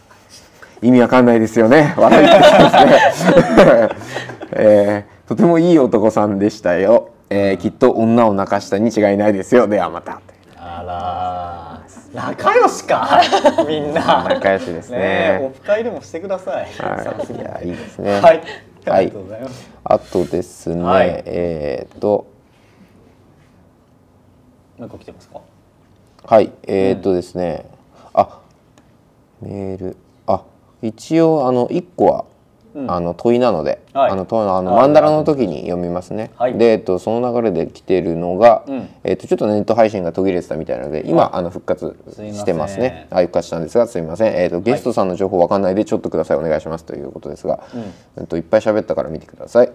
配信されてなかったからってことでしょ？あえーと東大で4年生で、えー、とスケフィギュアスケートやっているはい。僕の後輩です、で、ユーミートで一緒になんか記事書いたりしますって感じです。熱い熱い熱いジョジョ熱いがもう、はい、ジョも好き台詞ですよ。はい。で、えーもう一個来てますね。えー、杉谷やばいぞという件題で来てます。デムクラネームタイヤの人書いてあります。はい。杉谷やばいぞ。たまたま今日は勝てたみたいだけど、ヘルメ君マジで川柳の勉強してきてるぞ。本気で勝ちに来てるぞ。わらわらわらと来てます。そうかな？今日はそうでもねえぞそんなにもう最近は勉強してもないです。はい。というわけで引き続きやっていきまはいしょう。行きましょうか。じゃあ次のコーナーこちらです。はい。えー世界をくすぐシングス。イ。エーイ。はい。あのこちらのコーナーは、はい。まあなんか身近で使っ自分が使っているもので、えー何か良いものですね、えーで独自の視点で構わないので、えーとそうしたものを紹介してもらって、まあ、みんなに使ってってもらえればなと、まあ、さっきのあのイヤホンもありましたけど、ヘッドホンですね、ありましたけどそういうものを紹介してもらえればなというはい。いろいろやっておりますが今日は何かございますか？はい今日はお。ワセリンです。ワセリン。あのワセリン。ワセリンってあの葉っぱの表と裏に塗るやつみたいなあありましたね。印象しかないんですけど、はい。あの蒸散させないやつみたいな、はい、なんか世界を変えるグッドシングスで、うんあの何の役にも立たないようなやばいやつかあの、万人に役立つものか迷ったんですけど、うん。結局これは万人に万人に役立つあ万人ですこれは。ワセリンは。はい、あそう。なんか必見ですねそしたら。ワセリンこれ結構あのワセリンなら何でもいいんですけど、うん。あの私すごい、皆さんの花粉症はいはい。で悩むじゃないですか。僕の感情ですよ、ええ。ね、花粉症で鼻を噛みすぎると何が起きるかっていうと、ここら辺がボロッボロになるんですよ、ね。なんかもうん。うかすれちゃって、であの私昔から化粧水とかなんかそういうのをつけないタイプだったので、うん。もう小学校の頃からずっとなんかここら辺がもろもろになってきて、うん。で化粧水になってくると化粧乗らないんですよねこの部分。うん。でなんかもうボロボロになって、うん。なんかかえって目立つみたいな、にすごいここ2年3年ぐらい悩んでたんですけど、はいはい。なんか思い立ってあうん。の母親が勧めてきたワセリンをうん。鼻に使ってみたんですね。うん。今まではあの手荒れで使ってたんですけはいはいはど鼻に塗ってみたらなんか化粧水と乳液をたまにつけるよりもものすごい効果が出て圧倒的ワセリンの圧倒的ワセリンあですはい。であのベタベタするんですけど夜寝る時に塗ったらもう朝めっちゃいい感じで治ってるんですよね、うん。で化粧のりもめちゃくちゃ良くなったし鼻かんでも痛くなくなったし、はもう本当に神のような神のような、はい。塗り薬。えー理科の実験で使うだけじゃないらしいですワセリンはね。そう。セリン気候を塞ぐのに使ってたんですけどこれ。うん。なんかねじょ蒸散するかしないかみたいな。うん。やつでしたけど、本当いいです。いやーワセリン僕も常備してます。今も。あそうなんですね。そう。はい。へえワセリンをそういうもんなの？なんかうう普通に使われるもんなの？そうね。どういうことなんだろうね。僕は、うん。まあでも薬用のやっぱりお薬なわけなんだ。まあ、なんか荒れたりうん、した時とかあとはまあ普通にリップクリーム代わりにもああそう使ったりもしますし。なんか観覧の人たちがすごいなんか共感しているのかしているんだ。いいワセリン。あの鼻のうん。穴の中にワセリンを塗ると花粉症が止まります。鼻の穴の中にワセリンを塗ると花粉症花粉症が止まる。ですね。マジで言ってんの？そういうのかなと思ったら、あ。うん。でもそもそも花粉症も止められるとはマジで思わない最高ですね。8時間ぐらい持ちます。えもう一ヶ月早く知りたかった。もう。そしてもうあのありがとうとか言わあなくて良いりがとうとか言わなくていい。っていう花粉花粉さんありがとうとか言わなくていい。あもういいわ 科学的に。もうワセリンワセリンを鼻にグイグイグイグイやって。気候塞いじゃうから。もうどうなるん？本当にへえすごいですね。いや新たな発なんか見膜がなんかできてこうプロテクトされるんですまあかね、そうだし別にあの肌も荒れないっていう感じなんですか最ね。高ですね。じゃあ鼻に塗るついでに穴にもバーンってやっちゃえばいいのベラかここもテラテラッテカでもあーそう。ざまみろタイヤさんね。はいというわけで。いいですね。僕も買おうかなワセリンね、う面白いですはい。いですはい。ちなみになんかこのメーカーがいいんですか？わかんないです。他のワセリンを試したことがないので。まあでも他のメーカーでもいいんじゃないですか。ちなみにちょちょっといいですか？はい。ワワンプッシュもらってもいいですか？いいですよ。比べんの、君のワセリンと。うん。わかんないね。わかんないだろうね。そんな。あでもあ香りは全然違う。へえあそう。うん。はい そうか、はい、うん。まあなんかだから好みとかもあるのかな。うん。もしかしたらワセリンを極めていったら。自分に合ったワセリンをね、うん。自分に合ったワセリンはワセリンというわけで確かに。そう。でも花粉症の方多いので。うん、でもなんか3分の1ぐらい、あの都内の3分の1が花粉症みたいな。あ最近杉が憎すぎてググったんですけど。杉がね。本当に杉が。うちの杉山本当に申し訳ないと大体ほんもう杉山っていう名字を背負うと本当になんか人々に申し訳ない僕も杉花粉なんで許してほしいですはい、はい、なんかあれあの杉花粉自体が悪いわけじゃないらしいね。えそうあそうなの杉花粉にこう含まれてるの乗っちゃうんだって。あのなんか排気ガスとかそういう悪いのが乗ってダメになるって。だから都会で多いっていうことなんだ。あー。不思議だったんですよね、うん。都会山ないじゃんみたいな。そうそうそう高尾山しかないのに。そう。あそっからわざわざみたいなね。ああっちからわーってきた無害なやつらにうん。乗っかってる,、うん。やつがこうって聞いたよ。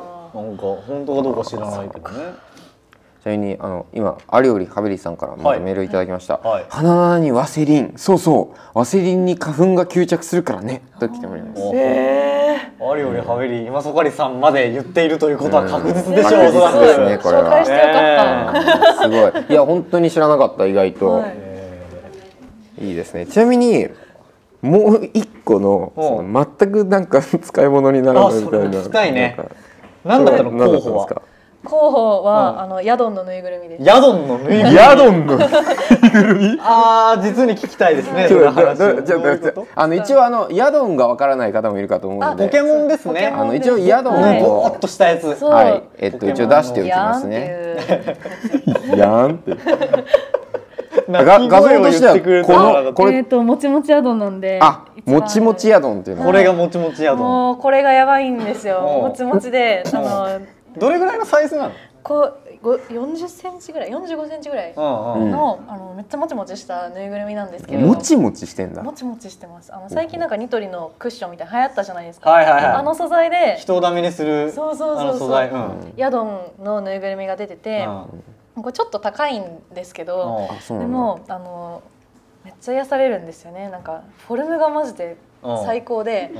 この丸いんですよお腹が、背中がちょっとこんもりしてて丸くてうん、で頭も丸い。うん。うん。で、こう腕を掴んで持ち上げるじゃないですか。持ってくればよかった、なんかそうねそうもちもちしてるからこうトスって乗せた時にうん。体全体が丸いのでここに重みがくるんですね、なんかちゃんと。はトンって重みがきて、なんかヤドンを抱えてるみたいな。うん。でヤドンがこっち見てるんですよ。うん。で、あの無表情で見つめられるんですけど、なんか無表情からいろんななんか気持ちが伝わってきて、なんか眠いみたいなとか、はそういうのが伝わってきて、あ、ええ眠いんだみたいな。なるほど。あなたもそちらの人か。緑犬ええ緑犬サイドの人間が来ましたあそうね。緑犬という方もあのぬいぐるみうんをね、あのリラックマコリラックマのぬいぐるみと、あの大体毎日おしゃべりなさっているとあ、そうなんですね。あ、リラックまで言うと私黄色い鳥派です。派です。ああそう、はい。それは知らんけどねひ会ってみてほしいね、はうん ぬいぐるみ談義をしてほしいわ。持ち寄ってね。持ち寄って。うん。なるちなみにヤドンここにもいたか。あの、うん。その意外と高い意外と高いんですね、はい本当に。そうなんですよ。あのこうこれ下出ますか？はい。いろいろ出てるらしいんですよ。おう、あちょっと待ってくださいね。こう緑、うん。チコリータですねこれ、うんこうカラーカラーとか、うん。で基本こう最初のまあ1600円とかなんですけど、はいはいはい。多分素材違うんじゃないですか？なんかとでこうなんかちょっとこのなんていうのメインキャラ系な感じのまあでうん。ピカチュウはやっぱ高いんですね。6800円と。うん。でルカリオとかもちょっと高いんですけどうん。まあヤドンはだからピカチュウに次ぐに5000円ですね。あそう、うん。うん。ちょっともうちょいしたはいはいはいはい。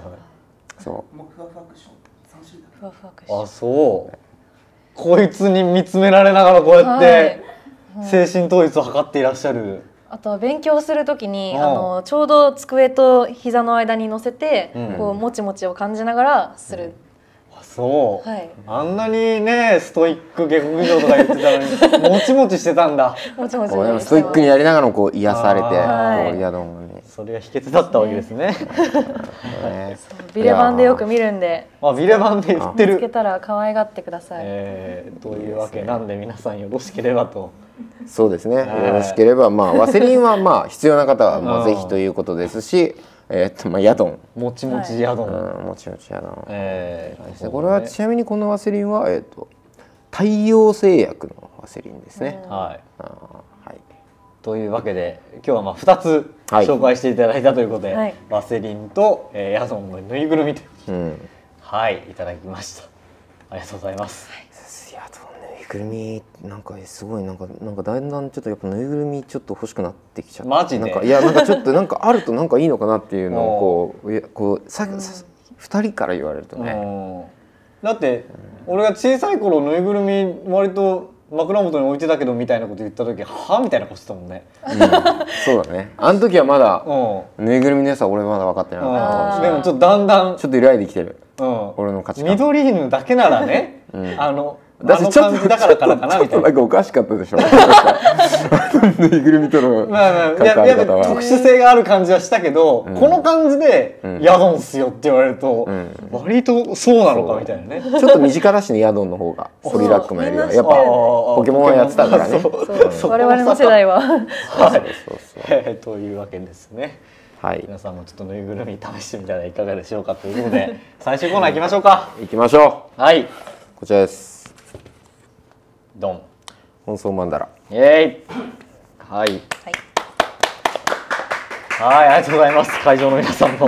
いやー、えーありがたいですねはい、最終コーナー本草マンダラですが、えー皆さんに投票いただいたものをちょっと集計させてもらって、うんえー一番票数の多いものから喋っていきたいと思いますが、はいいかがでしょうね。今日もあのー来ておりますまずねメールの方じゃあ紹介しますかね、えーメール来てあちょっと待ってくださいね。ん？その前に、えー普通にメールが来てます、はい、えータイヤの人です。タイヤの人ですね。はい。あれよりハベリマコソカリさん見てくださっていたんですか？ありがとうございます、うん。実は恥ずかしくて自分はまだアーカイブ見れないんです。見ろ。バック応援お願いします。えー、こらこらワセリン鼻に突っ込んでどうするんだよ。花粉症には花粉さん花粉さんありがとうマジで誰かやってみろよ。それから反応してこいよ。もう。もうワセリンが来た今。そんなバカバカしいことをする人は誰もいない、ね諦めてくださいもう、はい。えー、あもう一つタイヤさん来てます。タイヤさん？タイヤの人。えー、何何何？今日はえらく外野が賑やかですね、私も今週行けばよかったなと来てますね。また来なさいもう。いいからまた来なさい。いつでもお待ちしております。はい。はい。ということで、えー。メールじゃないですね、はい。あのー問いの方とね投票えっ、と今日は、えー、とこれ、えー、と大変なかしても女泣かさない新囚人さん。すごいもはい、えー、本草マンダラのお題、7は気配ってどうやって生まれるんだろうでお願いします。えーということですね。この気配ってオーラとかって意味？えー僕がスタジオで杉谷やヘルメ君に感じた特別な空気をまとってるなと感じたあれのこと。いやわかんないです。ねう、それは。うん、まあなんかねすごい過大評価なさってましたけどね、うん。まあそんなですよ。はい。はい、まあっていうのが1通来ております。はい。7番ですね、えー、とそしてツイッター、えー投票の方来ております。今日、は全部9通来てますね。ありがたい。はい。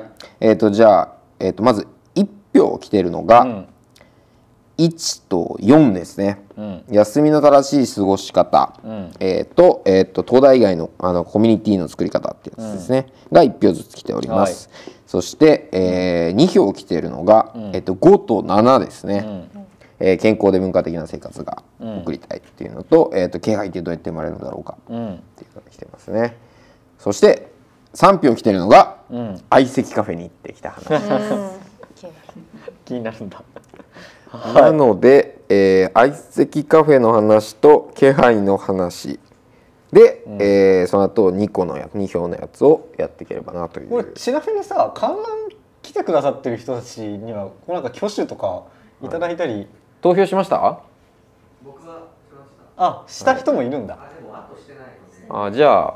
なんかぜひこれみたいのがあったら今言ってください。相席カフェ。相席、はい。相席カフェ分かった。もうこれ喋る。はい。はい。えー、というわけで相席カフェの話からしましょうか。はい。えこれはえっ、とななんでしたっけ？相席カフェに行ってきた話ー、というタイト行ってきた話ということでございます。あすげえアップされた。じゃあちなみにちょっと相席カフェをはい。あの出しておきましょう。出しておきましょう。えー何でしたっけ、えーどっちに行きました？池袋ロロハと銀座。スロハス銀座。ロハス銀座。えー、あのねこの前来てくれた、はい。あの相席、リサちゃん佐藤リサちゃんはい。が働いているということでこちら今、うん。あの下に出ております。マッチングタブレットカフェロ,、はい。ロハス銀座、ええー銀座に新名称本格ナポリ式エスプレッソを味わいながら素敵な出会い相席カフェ。ロハス銀座ではお仕事休憩中の方おしゃれでゆったりできるカフェをお探しの方さらに素敵な出会いを求めている方のために本格ナポリ式エスプレッソを味わいながら相席ができるカフェをオープンしております。というー、はい。こういったカフェが。ここにですね東大の後輩のまあノリのいい男子と一緒に、あの2人で行くと安いって話だったんで、うんうん。行ってきましてですね、まあ、結果的にすごいサービスしてもらっちゃったんですけど、あの値段の方は、えー行ってまいりましたと。これはちょっとこう今見るとこうなんか席に9番10番とかこう番号が書いてる。あのね、うん。行くと30分ずつなんだけど、うん。こう回転していくのね男の方が。あ男が回転していくんだ基本的には。この回転していく青い青いさ番号が。30男分になりましたよ、席変わってくださいって言われてこう移動していくわけです。よ。うん。であの、まあ、女性の方はこう、まあ、もっと安い値段で、まあ、あ飲み物飲みながらって感じなんですよね。うん。うん、でまあまずですね、まあ、すごい気合い、まあ、気合い入れてっていうか、まあ、どうどんなもんかなと思ってね、頑張ろうと思ってひ行ったわけですよ私も、うん。ただねちょっと年齢層が非常に高かったんですよね。まず。まず。30後半あたりなのかなぐらいの、あまあお姉様方がですね銀座であの雰囲気ですもんね。うん。っていう感じで。でちょっともう向こうも恐縮しちゃって、うん。学生さんみたいな。私なんかもうもう無理みたいな、うん。無理でしょそっちもみたいな。ってなってまあそのままちょっともう普通に話すみたいな。なんでこんなとこ来てんのみたいな。うん。えどっちがどっちがどっち？で向こうに言言われるわけよ。うんうんうんうん。あるでしょ出会いみたいな。頑張んなさいよ。みたいな。そんな別に。お前のためのサービスではないと、うん。そんな絶望的な顔してるわけでもないし、なんか一応ねみなりがそんなやばいわけでもないわけだからさ、もっと行きなさいよって。ああ30代後半からのお言もうもう葉アプリでも何でも使ったらいいし、もうサークルとかに行きなさいよ。そうだね。そうだよね、確かにちょっとここ違う気がしてきたね、うん。みたいな気分になりながらいろいろなアドバイスをいただきつつねまそれなえ何時間いたの？ちなみにその30分で1回じゃない？1時間半いました。だから3週じゃあこうあれ2対2なんだよね。そうそうそうだからじゃあ6人の方にお会いした感じなのかな？う,、ん。うん、ただその2回とも、うん。もう、まあ、結構こう妙齢の方っていう感じだったのね、で店内を見渡してみると、うん。まあ、やっぱそっち方向だとどうやら。我々がちょっといちゃいけない感じのようだと。いうふうに察しまして、うん。そろそろ帰ろうかなと思ったんだけど、タイミングが合わなくてちょっとまあもうい一セット行くことになりまして。うん。まあ、やっぱ30分単位だからさ途中で出るのもね、向こうもあれだ、でまあね。最後タッチ席だったんだけどそこがですねなんとね親子で来ていらっしゃったんですよ。母娘ってこと？母娘でいらっしゃってて。どういうことなう？ん。の、そうあの最初ねさすがにそんなことないだろうと、ん。で顔ちょっと似てる感じはするけど普通に話してたわけ。うん、まあノリが悪い。ノリが悪い。あほのさすがにさそのそういうカフェに来てるわけだから、悪い。まあさ喋ることは目的にしている可能性が高いじゃない。っていうかまあそういうつもりで来いよと。うん。や安いんだから向こうは。女性の方はね、なんだけども全然なんか、うん、つ次の行く店探してるみたいな。何とりあえず来ましたけどみたいな。時間潰しに来ただけみたいな。安いし。だかあらまあ女性からしたらそうなわけですよ。あなるほど。そういう使い方もされちゃう時があるそうそうそう。安くて飲み放題で、うん。ケーキも食べれていいじゃんみたいな感じで来てて。でまあなんとかこうさ話題をまあさすがに。ちなみにさいくついくつの親子なの？いやー多分ね、ん、20後半とうん、50まあまあまあまあぐらいだよね。うんそう。で、うん。まあまあまあ話してって、まあ、えか会社で一緒とかですかみたいないう話をしたら「いやそういうのじゃないですね」みたいうん。なもうまあまああんまり言いたくない関係ですみたいな。でも近い関係ですみたいな、うん。あ家族ねみたいな。もうもうじゃあなんで来たんだみたいな気持ちですごくやりづらかったんですけど。やっぱちょっとなんだろうな。ちょっと、人生そんなに甘くないっていうかそんな簡単なものなんてないんじゃないかと。うんお金を払えうばん。出会えるみたいなことはやっぱり違うんじゃないかと。うん。いうことがですね、えー感じましたね。うい、うん、初陣としては、初陣としては。我うん。が記念すべき初陣としては。えー。なるほどね。えちなみにさ、なんか前回の話だったら、そのここにうん。なんか3つの、そうそう色がね。なんか3色あるらしいこれをつけると、うん。でへー。1個はうん。なんか、なんか飲む相手を探してるみたいな遊ぶ相手を探してる、でもう1個はもう彼彼氏彼女候補を探してる、でもう1個はもう結婚を前提にみたいな、はいはいはい。へだって杉山はちなみに何をついける？やもうそれはもうあのピンク色のなんか恋人探してますで行きましたよそりゃ。なるほどね。それは行きあそうなるほどね。それは行きましたよ。でこう妙齢の方がこう、うん。うわ妙齢の方は？我々の方はそのまあ青色のその友達を探してます。だ。ったりしてない人みたいね。もはや。お前はもうルール外の存在。そのもう親子とかはもう全くルール外の存在でしたね。なるほどね、えー、ちょっとね。そうね。まあ、ん。確かに銀座でもちょっとねこう上の層のだった方がいてのかもしれないね。池袋の方はなんか若い。いいのかもしれないけどさ、まあ、やっぱりこうなんだろうね。狩り場？やっぱり気合い入ってる男の人いましたよ。えああそうなんだ。全力で行こうという感じの。それはねやっぱ年齢上の？うんの人もいたしまだ大学生ぐらいで遊びに来てる人もまあ俺らよりちょっと上だったかもしれないけどまあまあいたかな。うん。いやちょっとなんだろうなと。まあやっぱ30代後半の女性と飲みには行ってみたいよね。あそいろいろ面白い話聞けそうですよね、うん。普通に俺はうん。うまあねそういう目的だったら？っていうかまあ 社会勉強的なね。ねさすがに恋人にしたいとはまあちょっと思わなかったから、ああうん。まあ、普通にそこで雑談をしてというかさ、あなるほどねうん、話になりましたけどね。いや落としに行ってほしかったな。あ？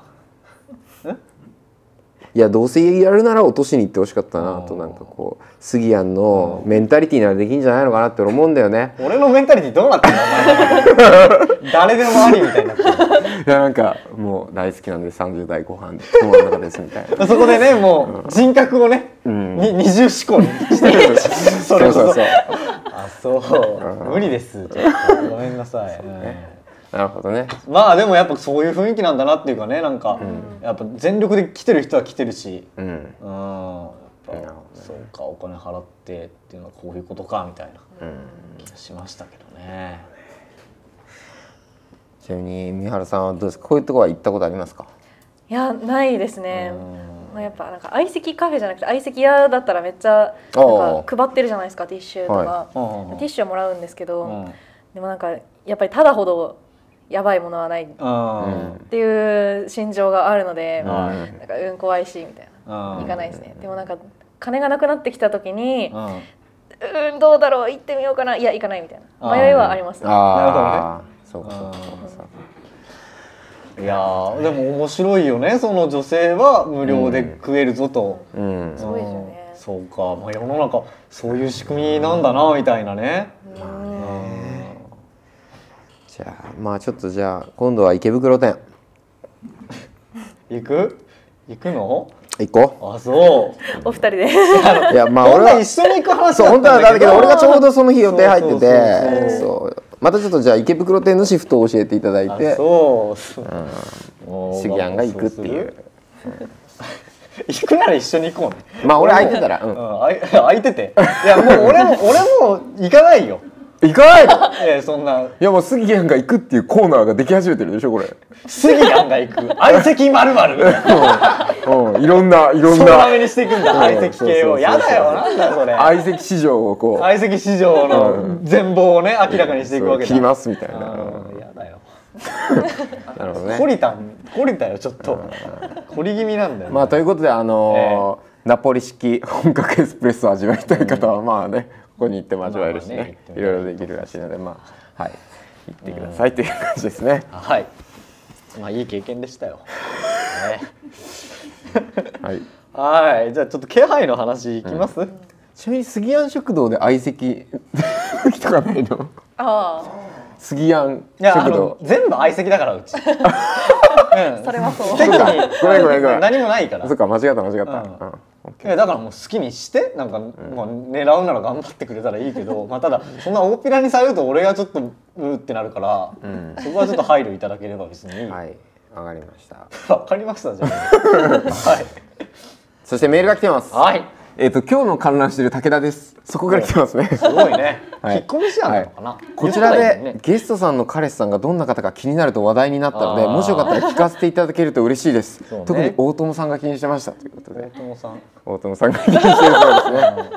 まあまあよよろしい範囲でちょっと、はい。はい。あの彼氏は、ええ。あの同学年同部、ああああ、うん。文学部でしあたっけ？えっと部活が同じで部活があ部活はい。一緒に滑っていらっしゃる、はい、一緒に。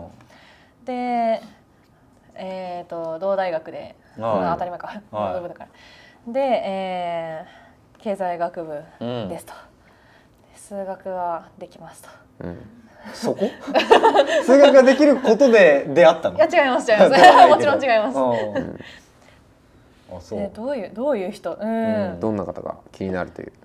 ストイックですね。ああそう、はい。私よりもストイック。ああ。あよりストイックであるところに惹かれたの、まあやっぱり真面目な人だなと、うん。あいつ私より飛ぶぞと。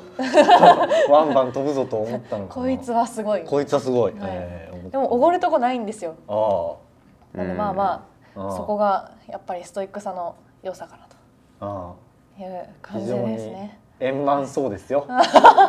つけ入る隙がなさそうですよ。あのね。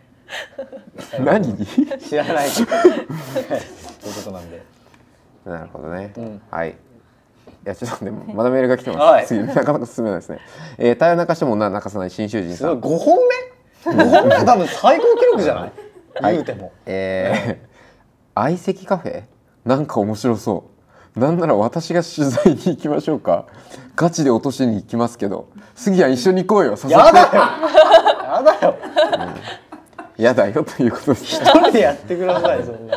やばいでしょもう。どうしたらいいの、それまあちょっと隣にいたらだから杉谷とタイヤが行くみたいな感じになる。んいやいやもういいよ。もう相席屋である必要がないよもう。別に。ボケ続けるでしょどうせはい、えーともうあで、えー、とちなみに「ありよりはべり今そかりさん、えーはい。イメージと違う」ってメールがあの番組に何通か来てたんですけど私のイメージってどうなってるんです？ということです。ん？まあなんかイメージがちょっと違ったのかな？なんかこうあのテレビに出て、うん。本送を見てる人がテレビのあっちのを見て実際を見てっていう感じなんですかね、はい。なんかもうなんかその辺のやり取りができる SNS とかが欲しくなってきうん、ました、そうだよね。だからそこでやる。うんいい取り継ぐから、あ のアドレスをさ送り合いなさいもう。あの僕も新修二さんとはつながったからね。うんあの、へうん、一緒に銭湯行ったんだって。いいですね素晴らしい、はい。ということではい。はい次のやついきますか、はい。はいですあのー気配気配ですねえいやー重いのが来ましたねえ重いのなんだこれ。まあ重いというかね、うん一度はは考えた方がいい。えっ、と何だったっけ？気配。気配ってどうやって生まれるの？ううんかな？ん。うん。どういうは話し方をすればいいわけ？あのまあ、でまあだからそこのね一応最初ちょっとうん放送あれだったっていうことでしたけど、うんあのこの僕がフォローしてる荒川修作一言ボットがねうん。あのこいつは誰なの？一度でいいからお前ら。ら気配ってどうやって生まれるか考えこいつは誰なの？あのこの人は、あのちょっと待って荒川で出すこっちの方がいいかあのギレギなんだっけ銀図だっけ？なんだっけ？えっ、とそうだマドリン銀図と一緒にですねあのよ三鷹天明飯店住宅とかを作ってる人ですね行ったことありますか？三鷹にあるあの建築家？すごい面白いカラフルでこういうあこれこれ見ていただけると分かるんですけど「まあ、住む」ってやると「ヘレン・ケラーのために」っていうのが住めあ住めるんですよ住めるんです住めるんですよ。あ今ちょっと空室ないですねすいません。このコンセプトを見ればいいのかな？三鷹天明飯店住宅。すごいもう必殺技みたいだね、うん、あのーまあなんか、えっと要は床が丸かったりうん。なんか謎になんかもうジャジャジャジャしたああのーなんて言うんだろうな。なんか素材でできてたり、トイレがまあ外から丸見えだったり。すごい生活しづらいんだ、まあなんかこういう ところですね。あえてね。ほらあ下にもうバーって出ましたけど、まあ生活しづらいまあ一応多分しづらさはあると思いますね。なんかあの要はこう今のこうコンクリートとか普通に真っ平らみたいな、うん。あのフリーなのが良いと。うん。なんだけどまあそれだとこうまあ自然と足腰弱っちゃうしいざというこの段差とかのところで対応できなくなる。たりするから、まあなんかこういう普段からこういうわけわかんないところに住んでるとこう体が強い。みたいなるほどね、ジャングルに住めみたいな話ですねもうね。なそうですね、うん。ちなみになんかこうここに来たなんか逸話ではなんかおばあちゃんがここにやってきて、ん。まあ踏み外して骨折したんだけど、すごいなんか喜んでたと。へえいう喜んでた喜んおばあちゃじゃうんんだってドマゾじゃねえか。やべえよばあちゃんだなもまあっていう周作さんがですね、はい。一度でいいからお前ら気配ってどうやって生まれるか考えてみろというふうにうこんないことつぶやてしたてる人のでがそんなこと言ってる、ボットですけどこれ実際の発言を？あもちろんもちろん、そうですね。もちろんもちろん。そうですね。気配って何か？気配ってまだどうやって生ま生れるまれるか入ってあれですか？なんか漫画でいう強敵が現れた時のゾワザみたいな。なんかいるみたいな。そうでしょうね。あーあれもそうですからあいつできるぞみたいねな。気配があると。なるほど、あうん。どうやってまあでも人の気配みたいなのあるよね、ーうん。あれ何なんだろうね。ね。第六感みたいなやつなのかね。うん。うん。気配ってどうやって？なんかそうは言ってもちょっとした音とかうん。なんか温度、温度なのかどうかわかんないけど、うん。まあなんか例えばさこうこれぐらいの距離とかだともう目つぶっててもまあだ誰かはいそうみたいなうん。のはするじゃんか、それはなんか音だったりなんか雰囲気？なんだろうね、うん。なんか音とかだと分かりやすいじゃない、うん。単純に音がするから、うん。なんかでもそういうのなくてもなんかいるの分かったりすることってあるよね、うん。うんあっちのこと言ってんのかね？あと思うけど。うんうん。なんかさあー。あ何？まあ気配が何かちょっとよく分かんないけどおあの恋の気配とかたまに感じる時あるよね。ない？ー恋の気配？うん。あ。これ恋の気配来てるなみたいな。あそあーこれ恋の気配来てるパターンのやつだみたいな。うなんで三沢みたいになってたの？えないっすか？いやなないっす。多分。もうちょっと詳しく教 えてもらっていいですかえなんかうんん？なんだこれ？みたいななんかん？みたいなあれ？なんかん？なんかなんだこの感覚まあ悪くない。いやむしろ良い、うん、ただなんだこの感覚？みたいな。で何回かこう機会を重ねていくとあれ？この人がいるからこの感覚が生じてるみたいだぞみたいな。最初集団でいる時わからないんだけど。ってなってきて「ん?」みたいな「恋の気配だ」なない。あないかな。あるんだけどね何なんだこいつ。えっと、いやまあそれはさ、ん。気配なの？気配っつうかまあ恋じゃん。い。や知らんけど。ああそれは恋か。こ恋の恋に気づおかしいな。く前うん。なんか自覚する前のあれってことでしょ、うん。知らんけど、うん、なんか形になる過程を意識することなんですかね気配ってね。ほう。ほうほうほその恋がうん。恋と自覚されるまでにううん。得る過程なんかゼロ一じゃないじゃないですか。うん。だからこれは何かが変わっていってる気配を感じるうん。みたいな。でなんか誰かの気配がいるっていうのが誰かがなんか何か生命体が存在するわけじゃないですか、うん。その生命体が自分の中で結局何の意味を持つのかわからないけど何かが変わってきているっていうのを感じるのが気配。うん。生命体が何かが変わってきている。うん。なんか自分の普段いる空間何もない空間に何か変化があって、うん。それが音だったり空気だったりするんだけど、うん。そういうわずかな違いがうん。何かあるとなんかうん。自分の言葉ではあの言葉とか感覚では認知しきれないけど、うん。漠然とした何かを分かっていてうんでそれが気配。その状態が気配。うん。うん。いやなんかうん。うん。うん。あの、無意識とか、うん。そのなんかなんとなく勘みたいなやつ、うん。でそれはなんか言語化されてないだけでうん。こう微細な感覚が集合しているとかう、ん。経験から来ているとか、うん。本当はたくさんいろいろあるんだけどそこまでしはい意識化されてなくてでもなんかあんじゃねみたいなその結果っていうかうん。その気づきだけが出てくるみたいなうん。のだとすると、まあ本当はたくさんあるみたいな。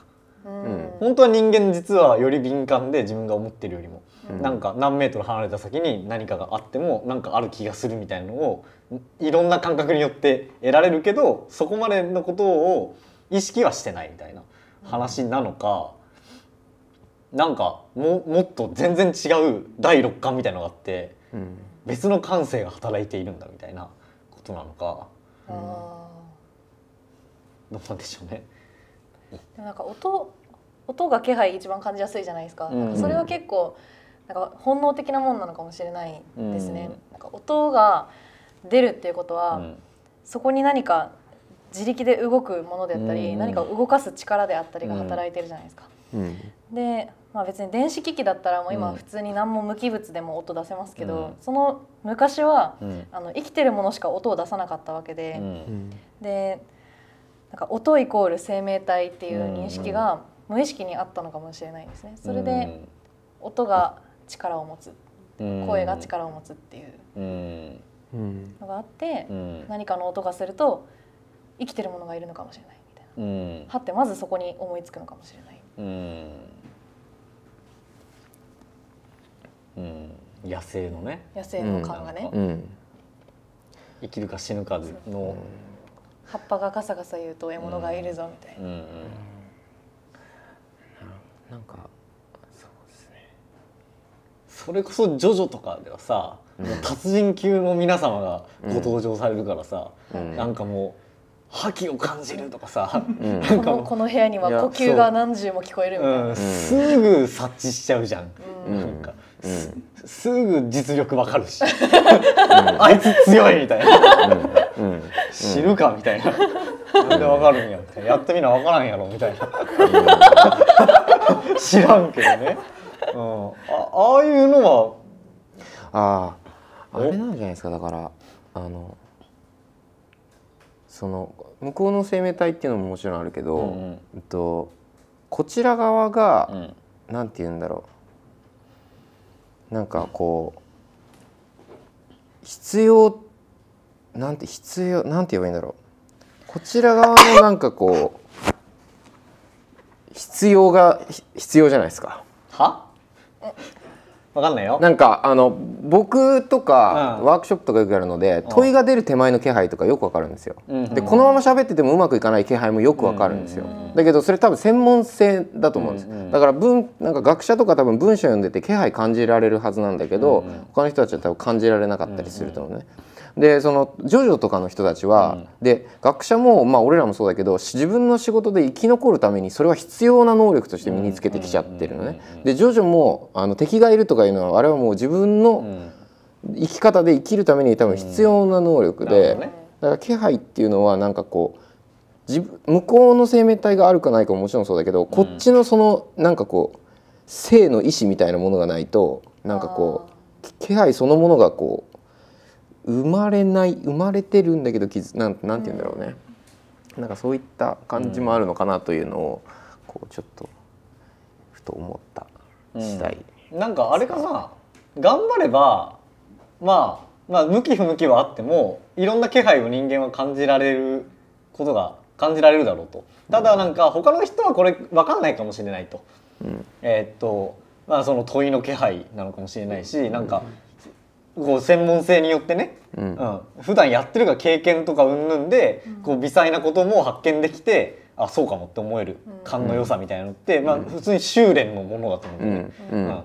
うん。でそれをこう他人にパッて説明できないからあの音がしたらそうじゃんとかうん。言うわけじゃないじゃん、うん。この匂いがこうだからっていう話はできないから、それをもう面倒くさいから気配って言ってるのかもね。あだからそうんうんうん。の超そいつも頑張れば分かるかもしれないその気配が。うん。で多分同業者だったらああそう分かる分かるみたいな。俺の場合はちょっとこういう感じだけどまあ分かるわみたいなのとかなんかちょっと違う感知の仕方だが同じことをこう発見しているみたいなことあると思うんだよね。うんうん。だからなんか、なんだろう本当は五感の範囲内なんだけどその特定の発達の仕方うん。とかその経験によってしか得られない感覚みたいなのがあって、うん。でそれのことをもう面倒くさいので気配とか第六感とか感とか。その気配がそのなんかこう独特なそのシステマチックなその感覚がこうある種なんかこう状況に合わせて直感するっていうものがまあ気配と呼ばれるうん。まあなんかなんじゃないか。で電気的に気配と呼びましたみたいな。そうね。うんまあだからどうやって生まれるかはだからうん。こっち側がないと意外とうん。気配っていうものは生まれないのかもしれないね。うん。気づかなかったりする時あるからね。うん。うん。やっぱあれだよ。全員が気づくものを気配とは言わないんじゃないかうん。なやっぱり、ううん。ん。あいつは気づいてこう未熟なやつは気づかないかもしれないと。うん。いうようなものをこう気配って言っててそれ以上以外のものはいや見見たらわかんじゃんとか、うん。音すんじゃんみたいな話、うん。うん。なのかもしれないね、うん。だからこっち側の鍛錬、うん。意外とね。うん、なのかもしれませんね、それこそそのさ滑ってる時の,、うん。その今成功しそうな気がする感じみたいなのがうん。あるだろうしさ、はい。だから絶対俺らわかんないわけじゃん、ああこうこう言ったらみたいな。うダメかもみたいな。うん。気配とかがね。はいっていう感じですけど、えー。どうですか周作さん？まあ死んじゃったけども。死んじゃったの？もちろん。あもちろんっていうかまあもうお亡くなりになって しまいましたけど、はい。とりあえずまあ一度ぐらい考えろって言われたので考えるとなんか意外とはい。なんかうん。面面白かった。白かったえー、じゃあささ最後、うん、健康で文化的な話しますか？うん。はい。健康で文化的な。文化的な話。何、あのい何時ぐらいに寝て何時ぐらいに起きてんの？文化的な生活を送りたいっていう話ですね。早くてうん12時、うん遅いと、まあ、2時3時うんですね、うん。で起きる時は早いと4時で遅い時は12時うん。ですねなんか早い時が早すぎるね。どっちかっていうと、ねうんあの他のは全然許せた。大学生じゃんみたいな。はいうん。そうなんかまあまあ早いとか置いといてこの大学生じゃんっていう基準が、いや人間の生活じゃなくねって私は思うんですよ。大学生人間じゃないですね。そうそうそう。う。ん。なんか大学生たまになんか「いや、ん。徹夜したわ」みたいなとか「うんいや、まあ、起きたら4時だったわわらわら」みたいな感じあるじゃないですか。なんか人間が普通に健康的に生活してるのを、うん。大学生の生活はできないんですよね。うん。であのこの大学生がうん。全国に一体何千人いるんだと。病人がね。そう。うん。そう、やばい人が何千人いるんだっえていうところで、まあ、みんなできてないよねっていう。えうん。いや俺はねあのしないでいられる自由を得てるんだと思うんだけど。あちちなみに、うん。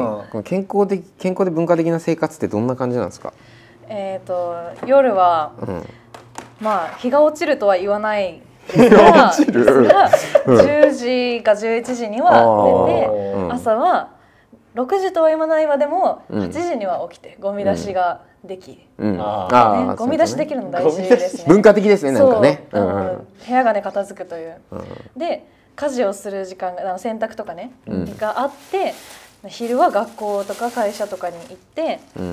で休日には映画であったり何かあの仕事と、ね、寝るとか生活に必要なもの以外の何か趣味を持って楽しんでいる、うんっていう生活がすごい健全だと私は思うんですけどうん。そういう生活できなくないですかっていう。うん。なんでしなきゃいけないん？だてか今のなんかモデルって俺の中にもなんとなくあるの。うん。今のその健康的文化的像みたはいいな、はいはいはいただここいつが何の仕事してるか全然見えない。お前誰だみたいな。ね 公務員なのかな？公務員。公務員。公務員かもね。公務員ならありかもしれない。うん。公務員かもしんねえわうん。うん。公務員ならうん。健康で文化的になりうる。うん。まあでもなるほどね。こういう生活を、うん。いやそういう生活なくないですかっていう。え何？そうなりたい？なりたい。なりたいです。なんで？なんかうん。生きてる実実感じゃないですけどなんかた自分が正しく生きているっていう保証が欲しいんですよね、ほう。ん。安心が欲しい、うう。ん。お前は正しいぞって言われたいわけだ。なんかうその一方でうん。2時まで起きてると、うん。あの寝なきゃいけない時間なのに、う起きている。うふふみたいな。あそれはそれで上がってってんだ。だからだから寝れないんですよね。で起きてる時もあと1時間私は寝れると、うん。あの授業もないし仕事もないから1時間寝る特権を得ている。うふふみたいな、うん。があって、うん。できないんですよ。いいじゃねえかよじゃあ。もう幸せじゃん。その幸せなのね。背徳感で幸せになってるじゃん。そう。しかも背徳感で幸せを感じていることに対してまた背徳感があります。ね。いやだから強靭な意志とかが必要なのかな。うん。それが強靭なあの意志を求められる多分牢牢屋とかに入れば健康で文化的な生活は。前科作るしかないんですかね。うん。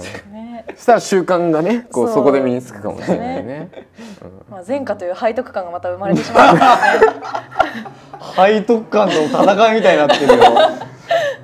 うん。まあでもいや難しいね。うん。うん。難しさはあるな刹那的な欲望にいかに負けないかみたいなところはあると思うな、